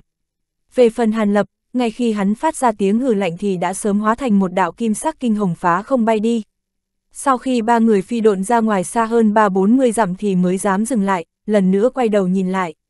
Chỉ thấy âm ba kia sau khi đánh qua chỗ bọn họ đứng lúc nãy bảy tám dặm thì rốt cuộc cũng dừng lại. Ba người không biết, ngay khi bọn họ khôi phục cử động và bỏ chạy, hai con mắt của cử viên chợt lóe hung quang, xoay đầu lại nhìn về phương hướng bọn họ đào tẩu, xem việc ấy là bình thường, miệng vẫn tiếp tục gào thét. Đây là hải thú gì mà thần thông to lớn như vậy, chỉ bằng vào tiếng giống mà đã có thể khống chế nhục thân và pháp lực của chúng ta. Chẳng lẽ là sơn nhạc cử viên trong chân linh, thạch côn thở dài một hơi, nhìn về phía cự thú phía xa xa, trong lòng vẫn sợ hãi không thôi nói. Không thể nào là sơn nhà cử viên, nếu thật sự là chân linh này thì ta còn có thể cầm cự đến giờ sao? Từ lúc đối phương giống lần thứ nhất thì chúng ta đã phi hồi yên diệt rồi. Cho dù không phải là tồn tại cấp chân linh thì chúng ta tuyệt không thể trêu chọc. Ta cảm giác được nó có chút giống như thượng cổ mãnh thú trong truyền thuyết, chấn hải viên. Liễu Thúy Nhi tựa hồ đã khôi phục chấn tính, không chút do dự nói. Chấn hải viên, là hung viên trong truyền thuyết có khả năng xé nát giao long, nuốt cả tồn tại thánh giai sao. Thạch côn nghe vậy liền hít một ngụm lương khí, có lẽ là nó, dù sao chấn hải viên có thiên hống thần thông, thời thượng cổ cũng có được đại danh đỉnh đỉnh. Hơn nữa chúng ta vừa rồi có thể thoát mạng được có lẽ là do hơn phân nửa là con thú này không công kích chúng ta, chúng ta nhất thời bị tai bay vạ gió mà thôi. Liễu Thúy Nhi cười khổ một tiếng, nói, nếu thật sự là vậy thì việc chúng ta thoát được quả thật rất may mắn. Bất quá, nếu vừa rồi không phải Hàn Huynh đột nhiên thi triển thần thông giải cứu thì Liễu Tiên Tử và ta chắc cũng khó thoát nổi kiếp nạn này. Sau khi Thạch Côn trầm ngâm một chút, đột nhiên vẻ mặt mang theo chút dị sắc nhìn về phía Hàn Lập nói. Đúng vậy, thật sự không nghĩ ra Hàn Huynh lại có thần thông như vậy, cư nhiên có thể phá tan thiên hống bí thuật của Trấn Hải Viên. Liễu Thúy Nhi đồng dạng xoay chuyển ánh mắt, thanh âm có chút quái dị nói. Không có gì, hàn mỗ chỉ là năm đó có tu luyện qua một loại thần thông bí thuật có thể ngăn chặn được tiếng hống của con thú này mà thôi. Hơn nữa may mà khoảng cách đủ xa cho nên mới may mắn thoát được, nếu không thì tại hạ cũng khó toàn thân thoát mạng. Hàn Lập thản nhiên nói, nghe Hàn Lập nói như vậy, hai người Liễu Thúy Nhi và Thạch Côn không khỏi liếc nhìn nhau, bộ dáng kinh nghi bất định. Mặc kệ như thế nào thì cũng xem như Hàn Huynh đã cứu Tiểu muội và Thạch Huynh một mạng, ân này chỉ có thể sau này báo đáp. Liễu Thúy Nhi sau khi trầm ngâm một chút liền thản nhiên cười nói. Không sai, nhân tình này Thạch Mỗ xin nhận, sau này chắc chắc sẽ có hồi báo. Thạch Côn cười hắc hắc nói, hai vị đạo hữu cần gì để ý đến việc này, trong nhiễm hàn giới này hung hiểm vô cùng, thượng cổ mãnh thú như Trấn Hải Viên không biết còn có bao nhiêu. Nói không chừng tiếp theo tại hạ còn cần hai vị đạo hữu tương trợ. Hàn Lập nghe hai người nói, chỉ mỉm cười trả lời. Hàn đạo hữu ngươi, Liễu Thúy Nhi khẽ cười một tiếng định nói tiếp gì đó nhưng vào lúc này đột nhiên từ xa truyền tới một tiếng giống quái dị khác nhưng lại cực kỳ êm tai làm ba người Hàn Lập cả kinh, lập tức ngừng nói chuyện, lần nữa nhìn về phía xa. Cự ly xa như thế, cho dù không có hải vụ che tầm nhìn đã bị chấn tan nhưng ba người Hàn Lập cũng chỉ có thể nhìn thấy đại khái quang cảnh phía trước, tựa hồ từ trên bờ biển phía đối diện với chấn hải viên bay tới một con tử sắc đại điểu, trên không trung hót vang không ngừng. Mặc dù chỉ nhìn thấy mơ hồ do khoảng cách quá xa nhưng thể tích của quái điểu cũng không kém cự viên bao nhiêu, hơn nữa cự điểu này đối mặt với tiếng hống của cự viên xem chừng không chút tác dụng mà lao thẳng tới. chương 1676, ám thú rừng rậm. Không tốt, hung cầm này khẳng định không kém chấn hải viên. Nhanh chạy thôi, chỗ này không an toàn. Vừa thấy cảnh này, Ngọc Dung Liễu Thúy nhì biến đổi liên tục, tiếp theo không chút do dự bắt quyết niệm chú hóa thành một đạo lam hồng phá không mà chạy. Không cần nữ tử này nhắc nhở, Hàn Lập và Thạch Côn cũng biết một khi hai thượng cổ hung vật này tranh đấu, vô luận là uy lực hay phạm vi ảnh hưởng hiển nhiên đều xa hơn so với âm ba lúc trước. Hai người cơ hồ hóa thành hai đạo kinh hồng theo sát áo choàng nữ tử bay nhanh về phía chân trời. Ba đạo độn quang chỉ một chút đã biến mất ở cuối chân trời. Ngay khi ba người vừa rời đi, chỗ cũ đột nhiên phát ra một tiếng nổ kinh thiên động địa. Tiếp theo, tiếng cuồng phong đan vào nhau, tiếng xé gió kinh thiên một chút liền chấn áp cả tiếng hét điên cuồng của Trấn Hải Viên và cự điều. Cơ hồ đồng thời lúc đó, một ngọn sóng cao ngàn trượng nổi lên, chỉ một lát đã bao phủ hoàn toàn chỗ ba người Hàn Lập đứng lúc nãy. Lúc này ba người Hàn Lập đã độn ra xa mấy trăm dặm, sau đó thay đổi phương hướng đi đường vòng lần nữa bay về phía đại lục.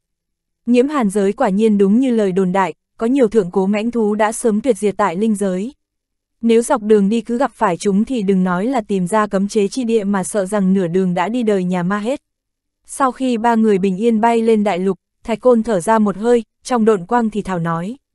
Mặc dù thanh âm của hắn không lớn nhưng bằng vào tu vi của Hàn Lập và Liễu Thúy Nhi thì vẫn nghe rõ ràng. Giới này mặc dù có một số thượng cổ mãnh thú nhưng cũng không nhiều lắm. Hơn phần nửa là do vận khí chúng ta xui xẻo đâm đầu vào trường tranh đấu của chúng. Liễu Thúy Nhi lắc lắc đầu nói, vận khí xui xẻo, đây đúng là báo hiệu của một khởi đầu không tốt đẹp gì. Thạch Côn lắc đầu, bộ dáng không cho là đúng. Người tu tiên chúng ta vốn dĩ nghịch thiên mà đi, đối với những điều mê tín đó tuy không thể không tin nhưng cũng không nên hoàn toàn tin tưởng. Liễu Thúy Nhi cười khẽ nói, hắc hắc, hy vọng là thế, Thạch Côn cười hắc hắc nói. Liễu Thúy Nhi thấy bộ dáng từ chối ý kiến của đại hán cũng không có ý tứ khuyên bảo, ngược lại quay đầu nói với Hàn Lập. Hàn Huynh, hiện tại chúng ta cần xác định vị trí của chúng ta trong giới này. Xin Hàn Huynh hộ pháp cho hai người chúng ta một lát. Trải qua chuyện lúc trước, Liễu Thúy Nhi rõ ràng đã trở nên khách khí hơn đối với Hàn Lập vài phần. Việc này không thành vấn đề.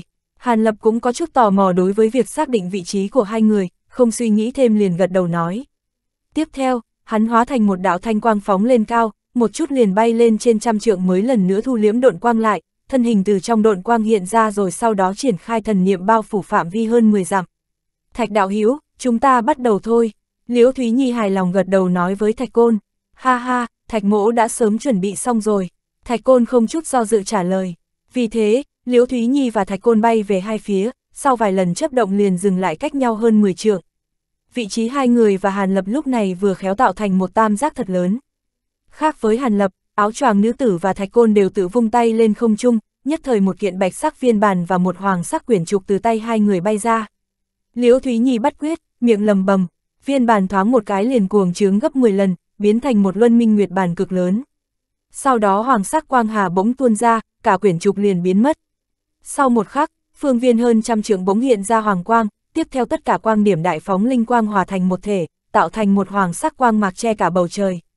Thạch côn thấy vậy, miệng khẽ quát một tiếng, đưa tay điểm một chỉ lên Minh Nguyệt trên không trung. Minh Nguyệt lưu chuyển hào quang, sau một tiếng vù vù thì chui vào trong hoàng sắc quang mạc. Tiếp theo, tiếng niệm chú từ trong miệng của Liễu Thúy Nhi và Thạch Côn cùng lúc vang lên.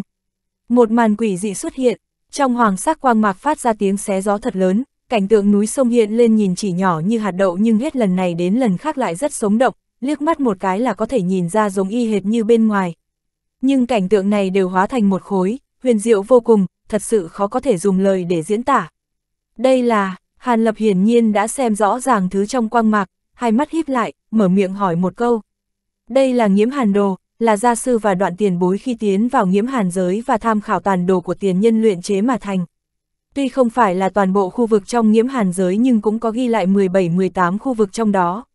Liễu Thúy Nhi nhẹ nhàng nói, bất quá, chúng ta có thật sự đang ở khu vực trong bản đồ này hay không thì phải thử một lần, vạn nhất không phải thì chỉ sợ rằng có chút phiền toái. Thạch Côn nói, tiếp theo điểm một chỉ lên quang mạc trên hư không.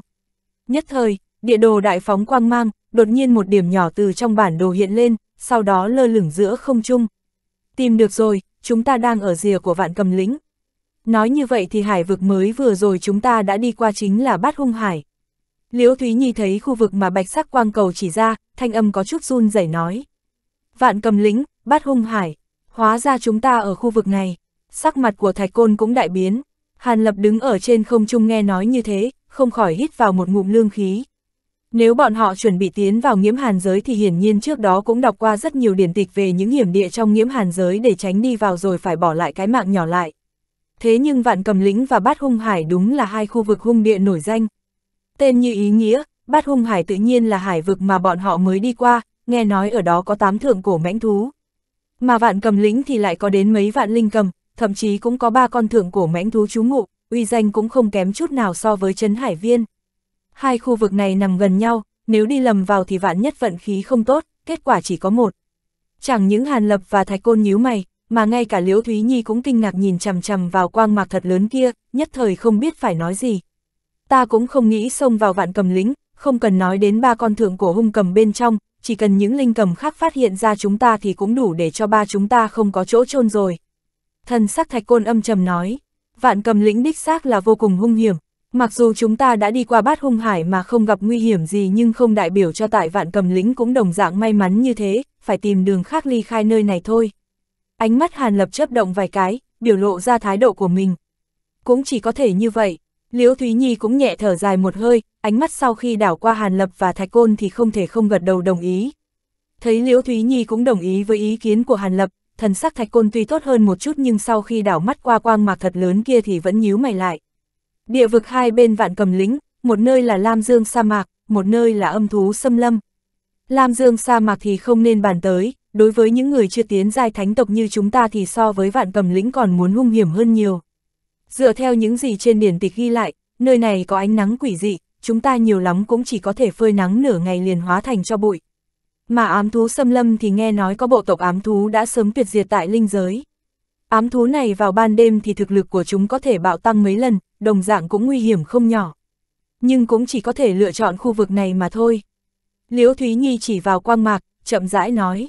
Không được, mặc dù miêu tả về ám thú trong điển tịch vô cùng ít nhưng có thể nhìn ra loại dị thú này vô cùng khó chơi, tiến vào âm thú xâm lâm rất nguy hiểm. Hay là cứ trực tiếp quanh quẩn ở khu vực này đi. Thạch Côn nghe vậy, cuống quyết phản đối. Không được, cấm chế chi địa nguyên bổn cách chúng ta rất xa, cho dù toàn lực chạy đi cũng phải tổn hao mất 3-4 tháng. Vạn nhất dọc đường gặp trở ngại khác thì thời gian còn lâu hơn. Mà quanh quẩn trong vạn cầm lĩnh này thì phỏng chừng thời gian mất hơn nửa tháng, mà sau đó mà muốn vượt qua âm thú xâm lâm thì cũng phải mất thêm gần 2 tháng, cộng thêm chúng ta còn cần 2 tháng đột phá bình cảnh nữa. Nói như vậy thì làm sao có thể kịp thời chạy tới nơi đó để bài trừ cấm chế. Lúc này đây, Liễu Thúy Nhi lại không có ý nhượng bộ, lạnh lùng nói. Vừa nghe Liễu Thúy Nhi nói vậy, thần sắc thạch côn vừa động, lộ ra vẻ trần chờ không quyết. Ám thú xâm lâm mặc dù có chút quỷ dị và nguy hiểm nhưng không phải trước đây chưa có người thông qua. Mặc kệ thế nào thì thông qua điển tịch chúng ta cũng biết một vài thủ đoạn đối phó với đám âm thú, như thế hẳn là có thêm vài phần nắm chắc so với người thông trước kia. Huống hồ, nếu lần này tay trắng trở về, thạch đạo hữu không sợ đoạn tiền bối sẽ nghiêm trị sao? Liễu Thúy Nhi nhìn chằm chằm vào thạch côn, hai con mắt tỏa ra ánh mắt băng hàn nói. Thạch Côn trầm ngâm một lúc nhưng một lát sau đột nhiên ngẩng đầu lên nhìn Hàn Lập trên không trung hỏi một câu. Hàn huynh, người có đề nghị gì không? Hàn mỗ là do hai vị tiền bối mời tới trợ giúp hai vị, từ chỗ hai vị tiền bối đã thu được lợi ích không nhỏ, chỉ cần hai vị đạo hữu thống nhất ý kiến thì tại hạ đi đâu cũng được. Ánh mắt Hàn Lập chớp động vài lần, bất động thanh sắc trả lời. Được rồi, nếu Hàn Huynh và Liễu Tiên Tử không e ngại ám thú xâm lâm thì Thạch Mỗ cũng muốn xem thử ám thú trong lời đồn đó như thế nào. Thạch Côn sau khi tự định giá một lát, đột nhiên cuồng cứu nói. chương 1677, chư tộc trong tộc. Nghe thái độ của đại hán như thế, ánh mắt của Liễu Thúy Nhi ôn hòa hơn vài phần, chậm rãi nói. Nếu Thạch Đạo Hữu đã nghĩ thông suốt thì ba người chúng ta sẽ đồng tâm hiệp lực xuyên qua ám thú xâm lâm, tin rằng chúng ta liên thủ thì chuyến này sẽ bình yên. Hắc hắc, hy vọng là thế. Thạch Côn thấp giọng cười nói. Vì vậy sau thương nghị một lát, ba người liền hướng dọc theo bờ biển mà bay đi. Trong nháy mắt, nơi đây trở nên yên tĩnh trở lại. Ngay sau khi ba người Hàn Lập rời đi không lâu, xa xa ngoài khơi lưỡng đạo độn quang chợt lóe lên, sau vài lần chấp động liền tiến tới ngay gần đó. Độn quang thu liếm lại hiện ra thân hình hai gã dị tộc dung mạo kỳ quái, mặc trang phục khác nhau. Một gã trong đó có tướng mạo béo lùn nhưng trên người lại có một kiện chiến giáp vô cùng lớn, toàn thân màu đen thui, cơ hồ che kín đến nửa đầu. Tên còn lại thì cao gầy, cả người giống như một thây khô nhưng lại mặc một bộ áo choàng rộng thùng thình, vô cùng quái dị. Sau khi hai người này từ trong độn quang hiện thân, trên người đều có cho bụi, vẻ mặt cực kỳ khó coi. Tên dị tộc nhân mập mạp vuốt mồ hôi trên trán, trong lòng sợ hãi nói.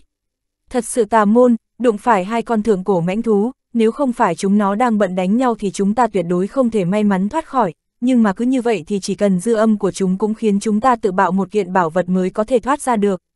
Dị tộc nhân ục ịch có vài phần tiếc của nói, hư, có thể giữ được mạng trước mặt hai con thượng cổ mãnh thú đã là phúc lớn rồi, bất quá hải vực nơi này có chút quỷ dị, chúng ta chẳng những lênh đênh trên biển hơn 10 ngày, mà khi vừa trốn ra được thì lại gặp ngay trường tranh đấu của hai con thượng cổ mãnh thú. Dị tộc còn lại thần sắc trầm trọng nói, may mắn là cuối cùng chúng ta cũng thoát ra khỏi hải vực này, phía núi non trước mắt hẳn là an toàn hơn một chút. Dị tộc nhân ục ịch xoay chuyển ánh mắt nhìn về phía trước, có chút không khẳng định nói. Là bà bị mất công hiệu khi trên biển, hiện tại lấy ra lần nửa thử xem, nói không chừng lại có thể xác định được vị trí hiện tại của chúng ta. Dị tộc nhân cao gầy tự định giá nói, được, làm phép thôi. Dị tộc nhân ục ịch không có ý kiến gì khác, gật đầu sau đó há miệng phun ra một cái ngọc bản sáng loáng vô cùng. Vật ấy sau khi xoay tròn trên không trung liền biến biến thành một trược, đồng thời trên bề mặt mơ hồ có vật gì đó hiện ra. Sắc mặt dị tộc nhân mập lùn hiện lên một tia huyết sắc, đột nhiên há miệng phun ra một ngụm tinh huyết, huyết vụ vừa phun ra liền biến thành một đoàn huyết vụ. Sau đó dị tộc nhân này hai tay bắt huyết, cuối cùng điểm về phía huyết vụ một cái, nhất thời đoàn huyết vụ kia nhập vào trong ngọc bàn. Mặt ngoài ngọc bàn đại phóng huyết quang, sau khi hấp thu huyết vụ thì ngọc bàn liền trở nên rõ ràng hơn rất nhiều, thậm chí mơ hồ có thể thấy được cảnh vật trên đó. Hai gã dị tộc nhân thấy cảnh này, lập tức trợn tròn bốn mắt nhìn bạch sắc ngọc bàn không chớp mắt. Nhưng một lát sau, sắc mặt hai gã này trở nên khó coi dị thường. Chuyện gì thế này, nó không thể xác định vị trí đại khái của chúng ta sao? Dị tộc nhân cao gầy nói, nếu là khu vực đặc thù thì định vị bàn sẽ không có hiệu lực. Chắc là do hai con thượng cổ mãnh thú đánh nhau nên dẫn động thiên địa nguyên khí gần đây cho nên cả nơi này cũng bị ảnh hưởng ít nhiều. Định vị bàn này mặc dù huyền diệu nhưng không thể so sánh với những bảo vật trong lời đồn được. Dị tộc nhân mập lùn sau khi tự cân nhắc liền nói. Hừ, sớm biết như vậy thì ta đã không tốn tiền mua vật này từ đấu giá hội, thứ này khiến ta và ngươi dường như tốn hơn phân nửa linh thạch tích góp được.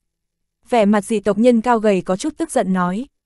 Vật này mất linh khi đến nhiễm hàn giới, không có nó thì ta và ngươi thật sự không cách nào xác định được phương hướng, mà vật này chỉ có tinh tộc mới có thể luyện chế được, nghe nói mỗi lần nhiễm hàn giới mơ ra, bọn họ đều bán được rất nhiều, ngoài ra ta còn nghe nói tinh tộc còn có thể luyện chế ra những thứ khác còn huyền diệu hơn, không biết là thật hay giả nữa. Dị tộc nhân mập lùn có chút buồn bực nói, quên đi, việc đã đến nước này thì có nói gì thì cũng vô dụng, hiện tại nếu không thể sử dụng được thứ này thì trước tiên cứ lên đường rời khỏi khu vực này rồi tính sau. Dị tộc nhân ục ịch sau khi dùng thần niệm đảo qua vùng đồi núi phía trước liền nói. Cũng chỉ có thể như vậy thôi, tên cao gầy sau khi trần trừ một lát rồi cũng gật đầu. Vì thế hai tên này độn quang tái khởi lần nữa hóa thành hai đạo kinh hồng phá không bay đi. Chỉ một lát sau, cả hai đều biến mất, mà sau này cũng không có ai nhìn thấy qua bọn họ nữa. Trên bầu trời của một khu rừng, ba gã dị tộc nhân thiên vân liên thử hóa thành một đạo tam sắc linh quang phá không mà chạy, mà ngay phía sau bọn họ lại có mấy con quái thú hình dáng giống như sư tử đuổi sát theo.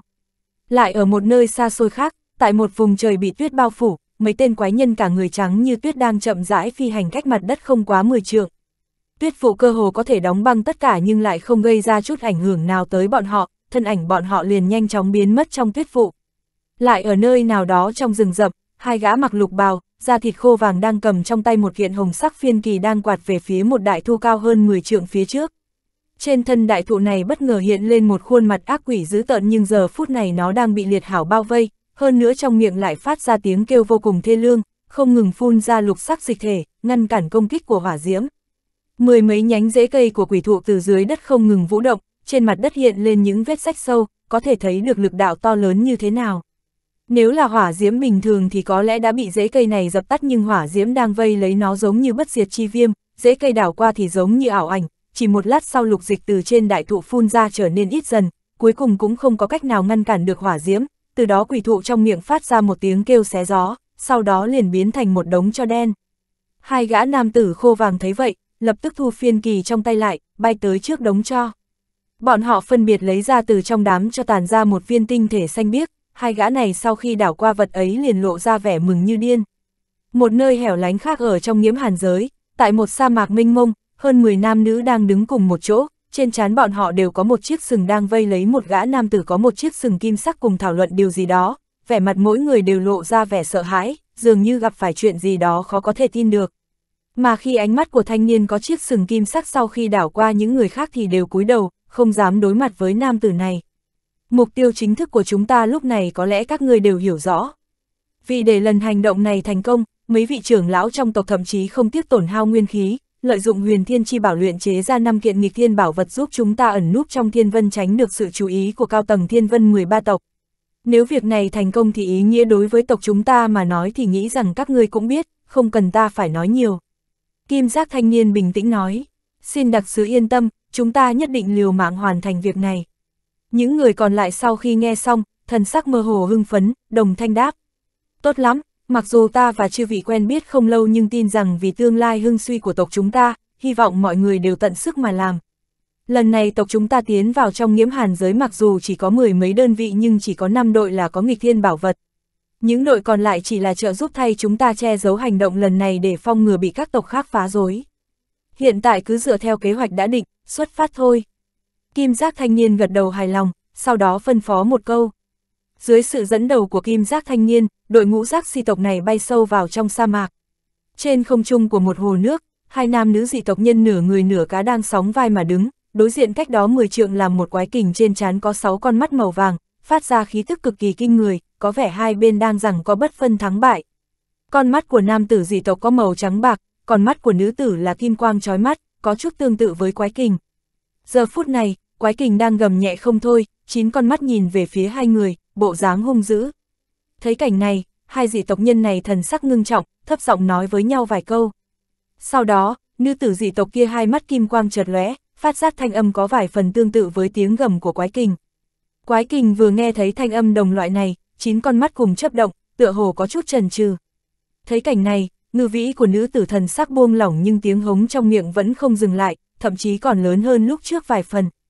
Tiếng hống của quái kình dừng lại, tiếp theo kim quang chấp động, thân hình chấp lên bay vòng quanh hai nam nữ dị tộc vài vòng, sau đó mới quay lại chỗ cũ, từ trong miệng một lần nữa hống lên. Lúc này, ngư vĩ nữ tử vừa nghe tiếng hống của quái kinh thì vẻ mặt mừng rỡ, thân thể chỉ thoáng một cái đã bay đến không trung phía trên quái kinh, hạ xuống lưng nó. Quái kình cường đại này trở nên ôn hòa, không chút tức giận, dưới sự thúc giục của nữ tử dị tộc, lam quang chợt lóe hóa thành một đạo lam quang bắn về phía xa. Thấy vậy, nam tử dị tộc còn lại kia hiển nhiên bay sát theo sau hai người. chương 1678, ám thú sơ hiện. Ám thú mặc dù không phải là dị thú cường đại nhất trong nghiễm hàn giới nhưng về đêm thì cho dù là thượng cổ mãnh thú cũng không dám đối mặt với một đám đột nhiên thực lực tăng lên gấp mấy lần. Ám thú xâm lâm không biết vì nguyên nhân gì mà 2 phần 3 thời gian của một ngày hoàn toàn là ban đêm, thời gian ban ngày thật sự rất ngắn. Ám thú sinh hoạt trong đó có đến mấy ngàn đầu thú, ám thú trưởng thành chiếm tỷ lệ cũng không nhỏ.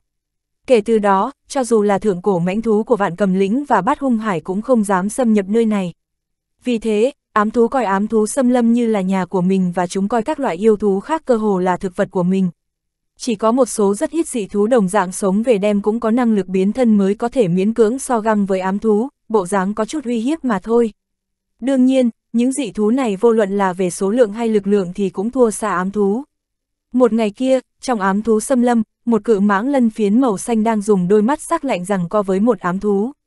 Mãng xà này nhìn như không rác gì với mãng xà bình thường nhưng trên thực tế lại là một trong số ít dị thú có thể tranh đấu với ám thú, tên gọi thanh dạ mãng. Tên như ý nghĩa, loại cự mãng này có cuộc sống về đêm. Trong đêm tối, thần thông của chúng có thể tăng mạnh lên mấy lần, hơn nữa có thể mượn lực lượng của đêm tối mà tiến hành cuồng hóa, biến thân.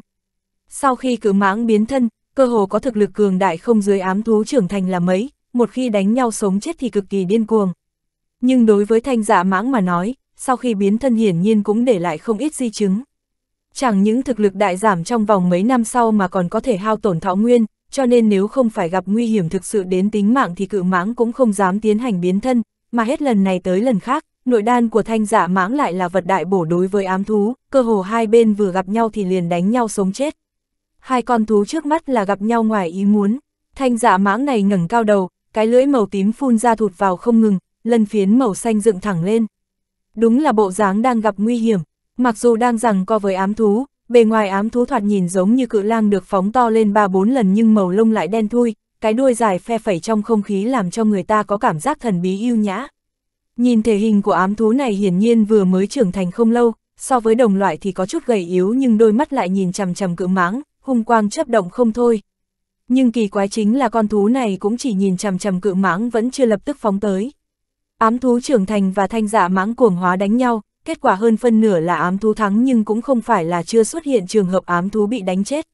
Hai bên gặp nhau, ám thú hiển nhiên vô cùng mừng rỡ nhưng không vội lập tức động thủ. Thanh dạ mãng sau khi cuồng hóa hiển nhiên thực lực đại tăng nhưng trong nháy mắt sẽ tự lộ ra nhược điểm.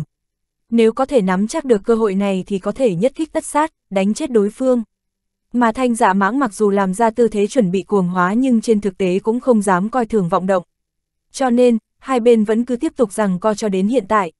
So với ám thú, các chủng loại dị thú hoạt động về đêm trong ám thú xâm lâm, ban ngày chúng đều có thói quen nghỉ ngơi ở trong huyệt động, cộng thêm lượng cây cối trong xâm lâm vô cùng cao lớn, mặc dù đang ở ven rừng nhưng cây cối cơ hồ che kín cả bầu trời, từ khe hở giữa lá chỉ có thể nhìn thấy được một mảnh tối đen như mực.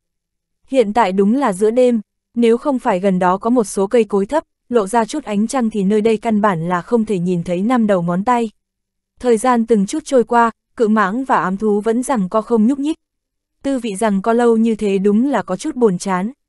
Ám thú rốt cục cũng không kiên nhẫn được, bước lên phía trước một bước. Nó gầm nhẹ một tiếng, đi xung quanh cự mãng nhưng động tác lại vô thanh vô tức, phảng phất như vô hình. Thanh dạ mãng thấy vậy, lưỡi phun ra nuốt vào liên tục, đồng thời trong miệng phát ra tiếng tê tê uy hiếp. Nhưng ám thú phía đối diện, hung quang trong mắt dần dần hiện lên, móng vuốt vừa động, chảo mang kéo dài ra ba bốn thước, đồng thời chiếc đuôi mang theo tàn ảnh liên tiếp quét qua quét lại trong không khí phát ra tiếng xé gió không ngừng. Đầu thanh dạ mãng cũng di động theo chuyển động của ám thú, hiển nhiên nó đem tất cả hành động của đối phương thu vào trong mắt. Vừa thấy đuôi ám thú cử động, nó dường như bị thứ gì đó kích thích mà phát ra tiếng tê tê rồn rập, thanh sắc lân phiến trên người chợt lóe, thân hình cuồng trướng. Sau thời gian một lần hô hấp, một tiếng thử lạp thanh thúy truyền ra. Bên ngoài cự mãng, lớp da rắn tắc tắc vỡ vụn, tại chỗ thanh giả mãng lúc nãy chợt hiện ra một cự mãng to hơn lúc trước gần gấp đôi nhưng hoa văn trên lân phiến đã biến thành màu trắng bạc, hơn nữa hoa văn còn chớp động ngân sắc dị mang, trên trán cũng hiện ra một chiếc sừng trắng noãn như ngọc, hình xoắn ốc. Bộ dáng vô cùng sắc bén, đôi mắt cự mãng chuyển từ màu lục sang màu đỏ đậm, bộ dáng điên cuồng. Ngay lúc cự mãng hoàn thành quá trình biến thân trong nháy mắt, ám thú liền động thủ không chút do dự. Trong đêm tối chỉ thấy u quang chớp động không ngừng, thân hình con thú này liền tan biến vào trong màn đêm. Tiếp theo, trên đầu cự mãng thoáng hiện hắc quang, ám thú bỗng nhiên hiện ra từ trong màn đêm, đồng thời mấy đạo hắc sắc chảo mang chụp xuống đầu cự mãng, tựa hồ nó biết đây chính là yếu điểm của cự mãng. Nếu đòn tấn công này đánh vào lân phiến của cự mãng thì chỉ có thể làm cự mãng bị thương nặng mà thôi nhưng nếu đánh vào đầu thì có lẽ nó không có thể gượng dậy nổi. Đương nhiên nhược điểm này chỉ tồn tại trước khi thanh giả mãng biến thân, sau khi biến thân ngay lập tức sẽ được phủ lân phiến, thậm chí lân phiến tại bộ vị còn cứng hơn xa những bộ vị khác. Vài tiếng phanh phanh trầm muộn vang lên, chảo mang đánh lên thân hình thanh giả mãng chấn động mấy tiếng nhưng chảo mang chỉ trượt qua, cự mãng này chật vật mới tránh được một kích chí mạng này. Chỉ là ở cổ cự mãng vẫn lưu lại vài vết xước đỏ nhạt, máu tươi tuôn ra, bộ dáng không quá sâu. Một kích đánh lén đó hiển nhiên đã làm cự mãng nổi giận, chỉ nghe thấy một tiếng gầm giận dữ, cự mãng vũ động chiếc đuôi hướng lên không trung phất tới. Trong phút chốc công phu, trong hư không hiện ra một thanh sắc vĩ ảnh quét ngang trời, tiếng xé gió phát ra vang vọng cả bầu trời. Ám thú thấy một kích không đắc thủ lại bị đối thủ phản công, nó tỏ ra vẻ bình tĩnh, thân hình thoáng một cái liền bắn ra hai đạo hắc quang hóa thành hai quái thú. Hai quái thú này tướng mạo vô cùng giống ám thú, chỉ là thân hình của nó có chút mơ hồ không rõ, hồi quang chấp động. Hai quái thú vừa hiện ra liền liên thú với ám thú, dương nanh múa vuốt phóng đi. Tiếng chảo mang suy suy nổi lên không ngừng, lập tức đánh tới thanh ảnh trên không trung. Một trận âm thanh bạo liệt kinh người phát ra, chảo mang và thanh ảnh cùng biến mất, bộ dáng ngang tải ngang sức.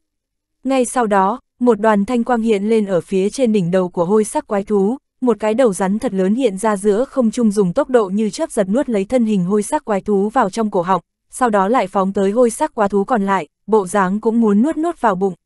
Đúng lúc này, ám thú quỷ dị phóng tới, há miệng để lộ ra hàm răng sắc bén như lợi nhận cắn về phía cự mãng. Nếu thật sự bị cắn thì tin rằng cho dù là thân hình của thanh dạ mãng có to thì cũng bị cắn đứt làm hai nửa. Nhưng sau khi thanh dạ mãng biến thân, động tác của nó cũng tuyệt không dưới ám thú, đầu đột nhiên co lại, tiếp theo không chút yếu thế mở to miệng trực tiếp nghênh đón đòn này của ám thú. Mà lúc này, nguyên bổn hôi sắc quái thú còn lại thân mình vừa chuyển, thân thể kéo dài ra bắn thẳng về phía cự mãng. Tiếng nổ ầm ầm phát ra, trong lúc nhất thời bất phân thắng bại. Nhưng chúng không biết, cách chúng hơn 10 dặm, trong một thân cây lớn nhìn như bình thường lại có một cái huyệt động lớn, đường kính hai trượng. Trong không gian thần bí này có ba người đang khoanh chân ngồi nhìn chằm chằm vào một tấm gương. Gương này phát ra ngân quang chói mắt, mặt kính trong suốt, hiển thị ra hình ảnh vô cùng chân thật. Rõ ràng là cảnh đánh nhau giữa ám thú và thanh dạ mãng. Tất cả cảnh tượng đều giống như thật, chỉ là bị thu nhỏ lại vô số lần mà thôi. Ba người này, một người mặc thanh bào, một người mặc áo choàng trắng, một người thì da thịt màu vàng. Đúng là ba người Hàn Lập, Liễu Thúy Nhi và Thạch Côn đã mất hơn nửa tháng mới tới đây được. Sắc mặt ba người ngưng trọng nhìn vào gương không chớp mắt. Gần nửa canh giờ sau, ám thú trong gương hóa thành hàng trăm hư ảnh, rốt cục cũng cắn chết thanh dạ mãng, nuốt nội đan của nó vào bụng, sau đó hết sức phấn khởi rời đi. Thế nào, hai vị đã tận mắt thấy ám thú, có cảm giác như thế nào? Một tiếng than nhẹ từ miệng Liễu Thúy Nhi phát ra, nàng giơ tay đánh ra một đạo pháp quyết lên trên kính, nhất thời hình ảnh trong kính chợt lóe liền biến mất. chương 1679, Thiên biến huyễn diện. Nếu là đơn đả độc đấu, trong vòng 10 lần hô hấp thì ta sẽ chiếm được thượng phong, 30 lần hô hấp thời gian thì ta sẽ giết được nó. Thạch côn nhướng mày trả lời, Nga, với thực lực như con vừa rồi nếu đồng thời xuất ra 3-4 con, thậm chí là 10 con xuất hiện thì sao chứ? Liễu Thúy Nhi tựa như cười hỏi lại, nếu là đều có loại thực lực như thế này, trên ba con trở nên thì ta sẽ không có nắm chắc tất thắng, mà năm con trở nên ta nhất định sẽ bại. Còn là 10 con thì ta không nói hai lời lập tức quay đầu lại chạy chối chết. Thạch côn khóe miệng co quắp một chút, có chút không tình nguyện nói ra.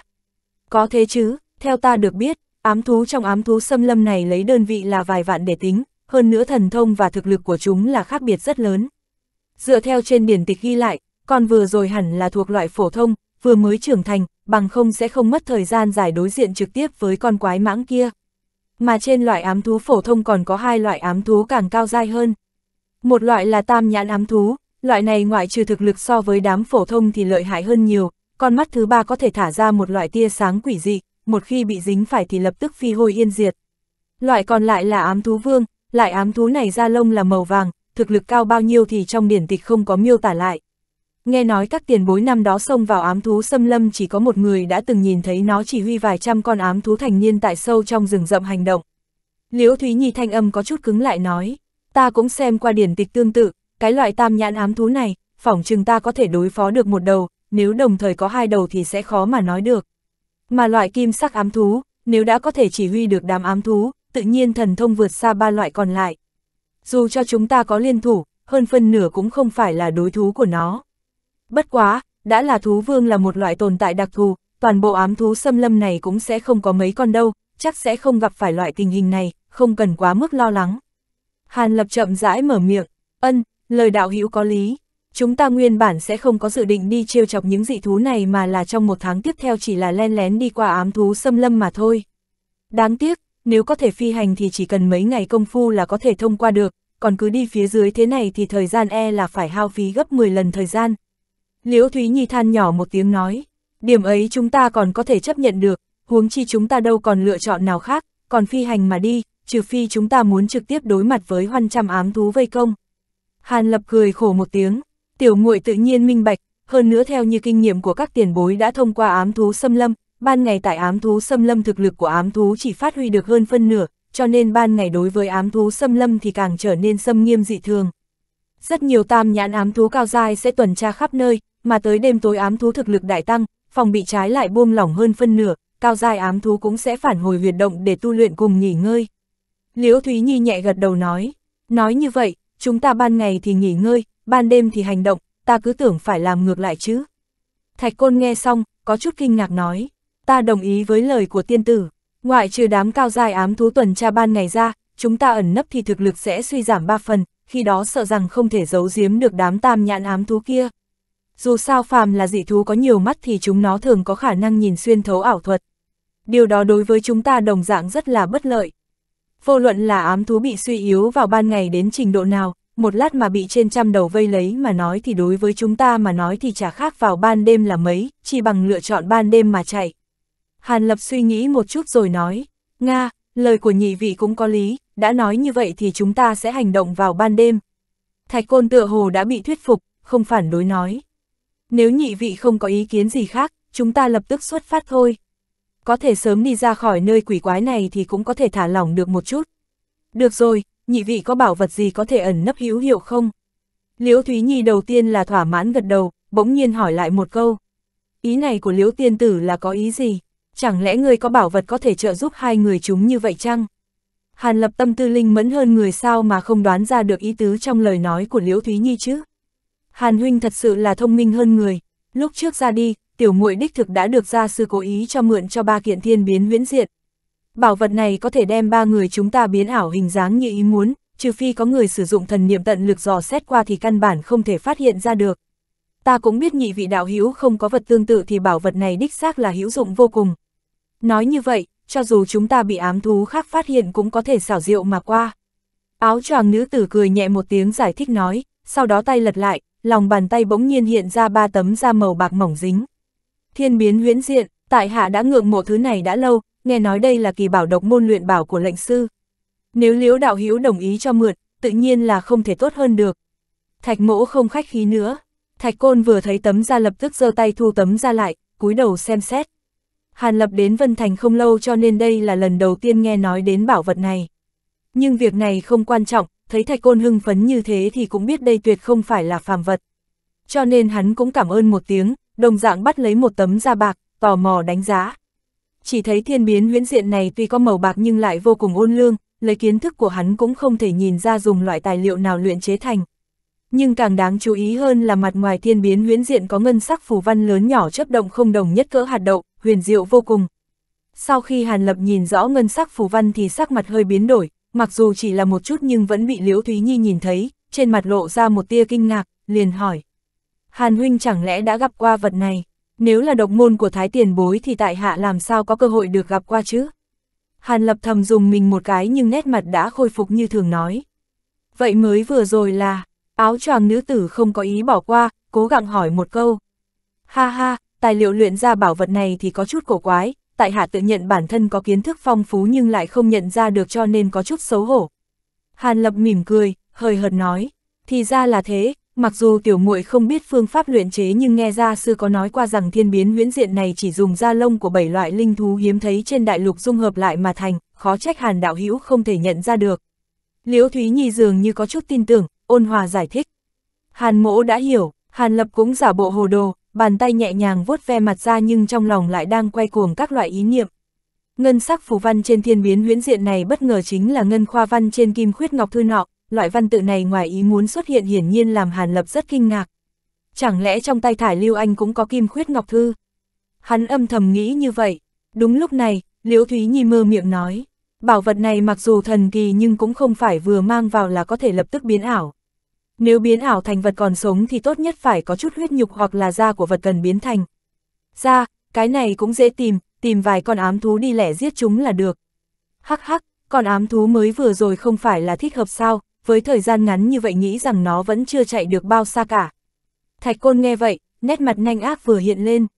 Theo đó, dưới chân hắn hoàng quang chợt hiện ra, cả người không một tiếng động từ từ chìm vào mặt đất. Liễu Thúy Nhi ánh mắt chấp động vài cái nhưng cuối cùng cũng không có ý tứ ngăn cản lại. Kết quả, thạch côn thi triển thổ độn thuật trong nháy mắt biến mất vô ảnh vô tung. Đã vậy thì để thạch huynh đi một mình chắc cũng không có vấn đề gì. Liễu Thúy Nhi nhìn Hàn Lập một cái, lúc này mới thấp giọng nói một câu. Nếu như Liễu Tiên Tử vẫn chưa mở miệng khuyên can tất nhiên là cảm thấy vấn đề không lớn. Hàn mỗ cũng hiểu được, vừa rồi đã tỉ mỉ kiểm tra phụ cạn, phương viên trăm dặm tuyệt không có con ám thú thứ hai. Hơn nữa thạch đạo hữu có tính toán riêng, sẽ dễ dàng như trở tay thôi. Hàn Lập hai mắt khẽ nhíu lại, nhàn nhạt nói ra. Nghe được Hàn Lập nói như thế, Liễu Thúy Nhi cũng không tiếp lời nữa. Kết quả, sau nửa canh giờ sau, chỗ thạch côn biến mất lúc ban đầu, hoàng quang chợt lóe, một đạo nhân ảnh từ trong lòng đất từ từ trồi lên. Chính là thạch côn, hắn từ lòng đất đi ra, hướng Hàn Lập và áo choàng nữ tử cười cười, tay áo bảo bỗng run lên, một bóng đen gì đó bay ra. Chính là một tấm da ám thú đen xì. Liễu đạo hiếu xem tấm da này thế nào, có thích hợp để sử dụng không? Thạch côn hãnh diện nói, một vết thương cũng không có, hiển nhiên là không thành vấn đề. Ta sẽ truyền khẩu quyết cho hai vị trước tiên có thể thử một lần. Liễu Thúy Nhi sau khi kiểm tra tấm da thì khẽ cười trả lời. Tiếp theo, nữ tử này thu tấm da thú lại, môi khẽ nhúc nhích bắt đầu truyền khẩu quyết cho hai người Hàn Lập và Thạch Côn. Hai người Hàn Lập hiển nhiên dụng tâm nhớ kỹ, không dám phân tâm. Một lát sau, khi Liễu Thúy Nhi kết thúc truyền âm, Thạch Côn hai mắt sáng ngời lên, đột nhiên cầm tấm da thú hướng lên không trung ném đi, tiếp theo dương tay đấm lên.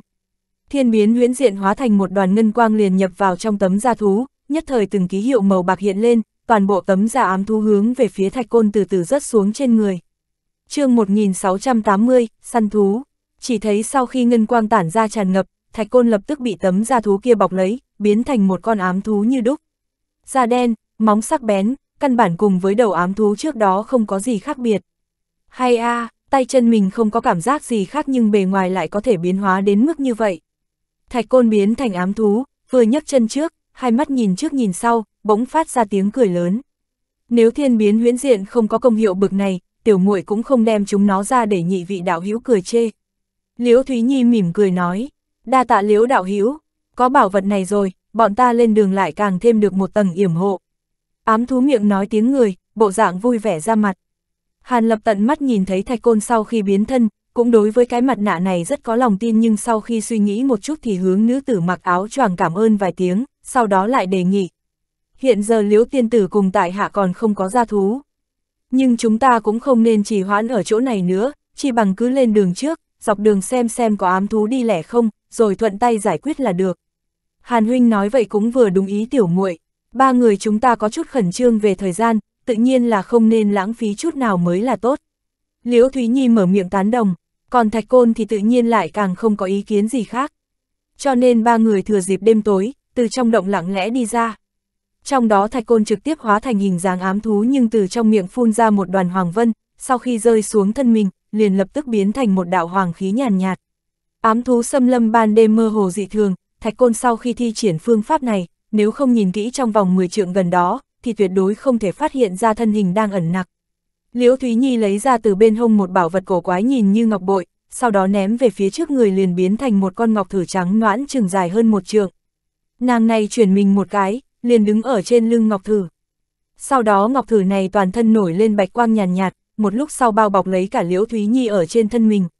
Thân hình ở trong bạch quang dần dần trở nên trong suốt, cuối cùng biến thành một đạo hư ảnh trong suốt, như có như không. Về phần Hàn Lập lại càng đơn giản, Thanh trúc phong vân kiếm sau khi trải qua tinh chế lại là bảo vật mộc thuộc tính vô cùng tinh thuần, ở trong rừng rậm mà mộc thuộc tính nồng đậm tới bậc này, phi độn lại càng cực kỳ khó phát hiện. Hàn Lập chỉ phất tay áo một cái, một ngụm thanh sắc tiểu kiếm dài vài tấc bay ra, xoay quanh một chút liền biến thành một đạo thanh hồng cao vài trượng quét xuống người. Một lát sau, một đạo thanh quang cơ hồ nhạt như không thấy liền lóe lên.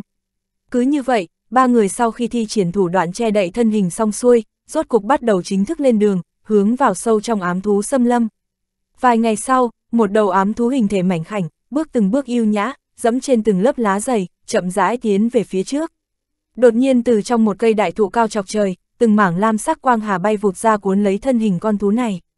Đầu ám thú này vô cùng kinh hãi, trong miệng phát ra âm thanh bén nhọn, hai bàn chân nổi lên hắc sắc chảo mang hướng lam sắc quang hà quơ một chảo. Nhưng lam sắc quang hà này chỉ xoay tròn một vòng, bỗng nhiên biến thành một quang cầu khổng lồ, mang con ám thú giống cái kia hoàn toàn bao vây lấy.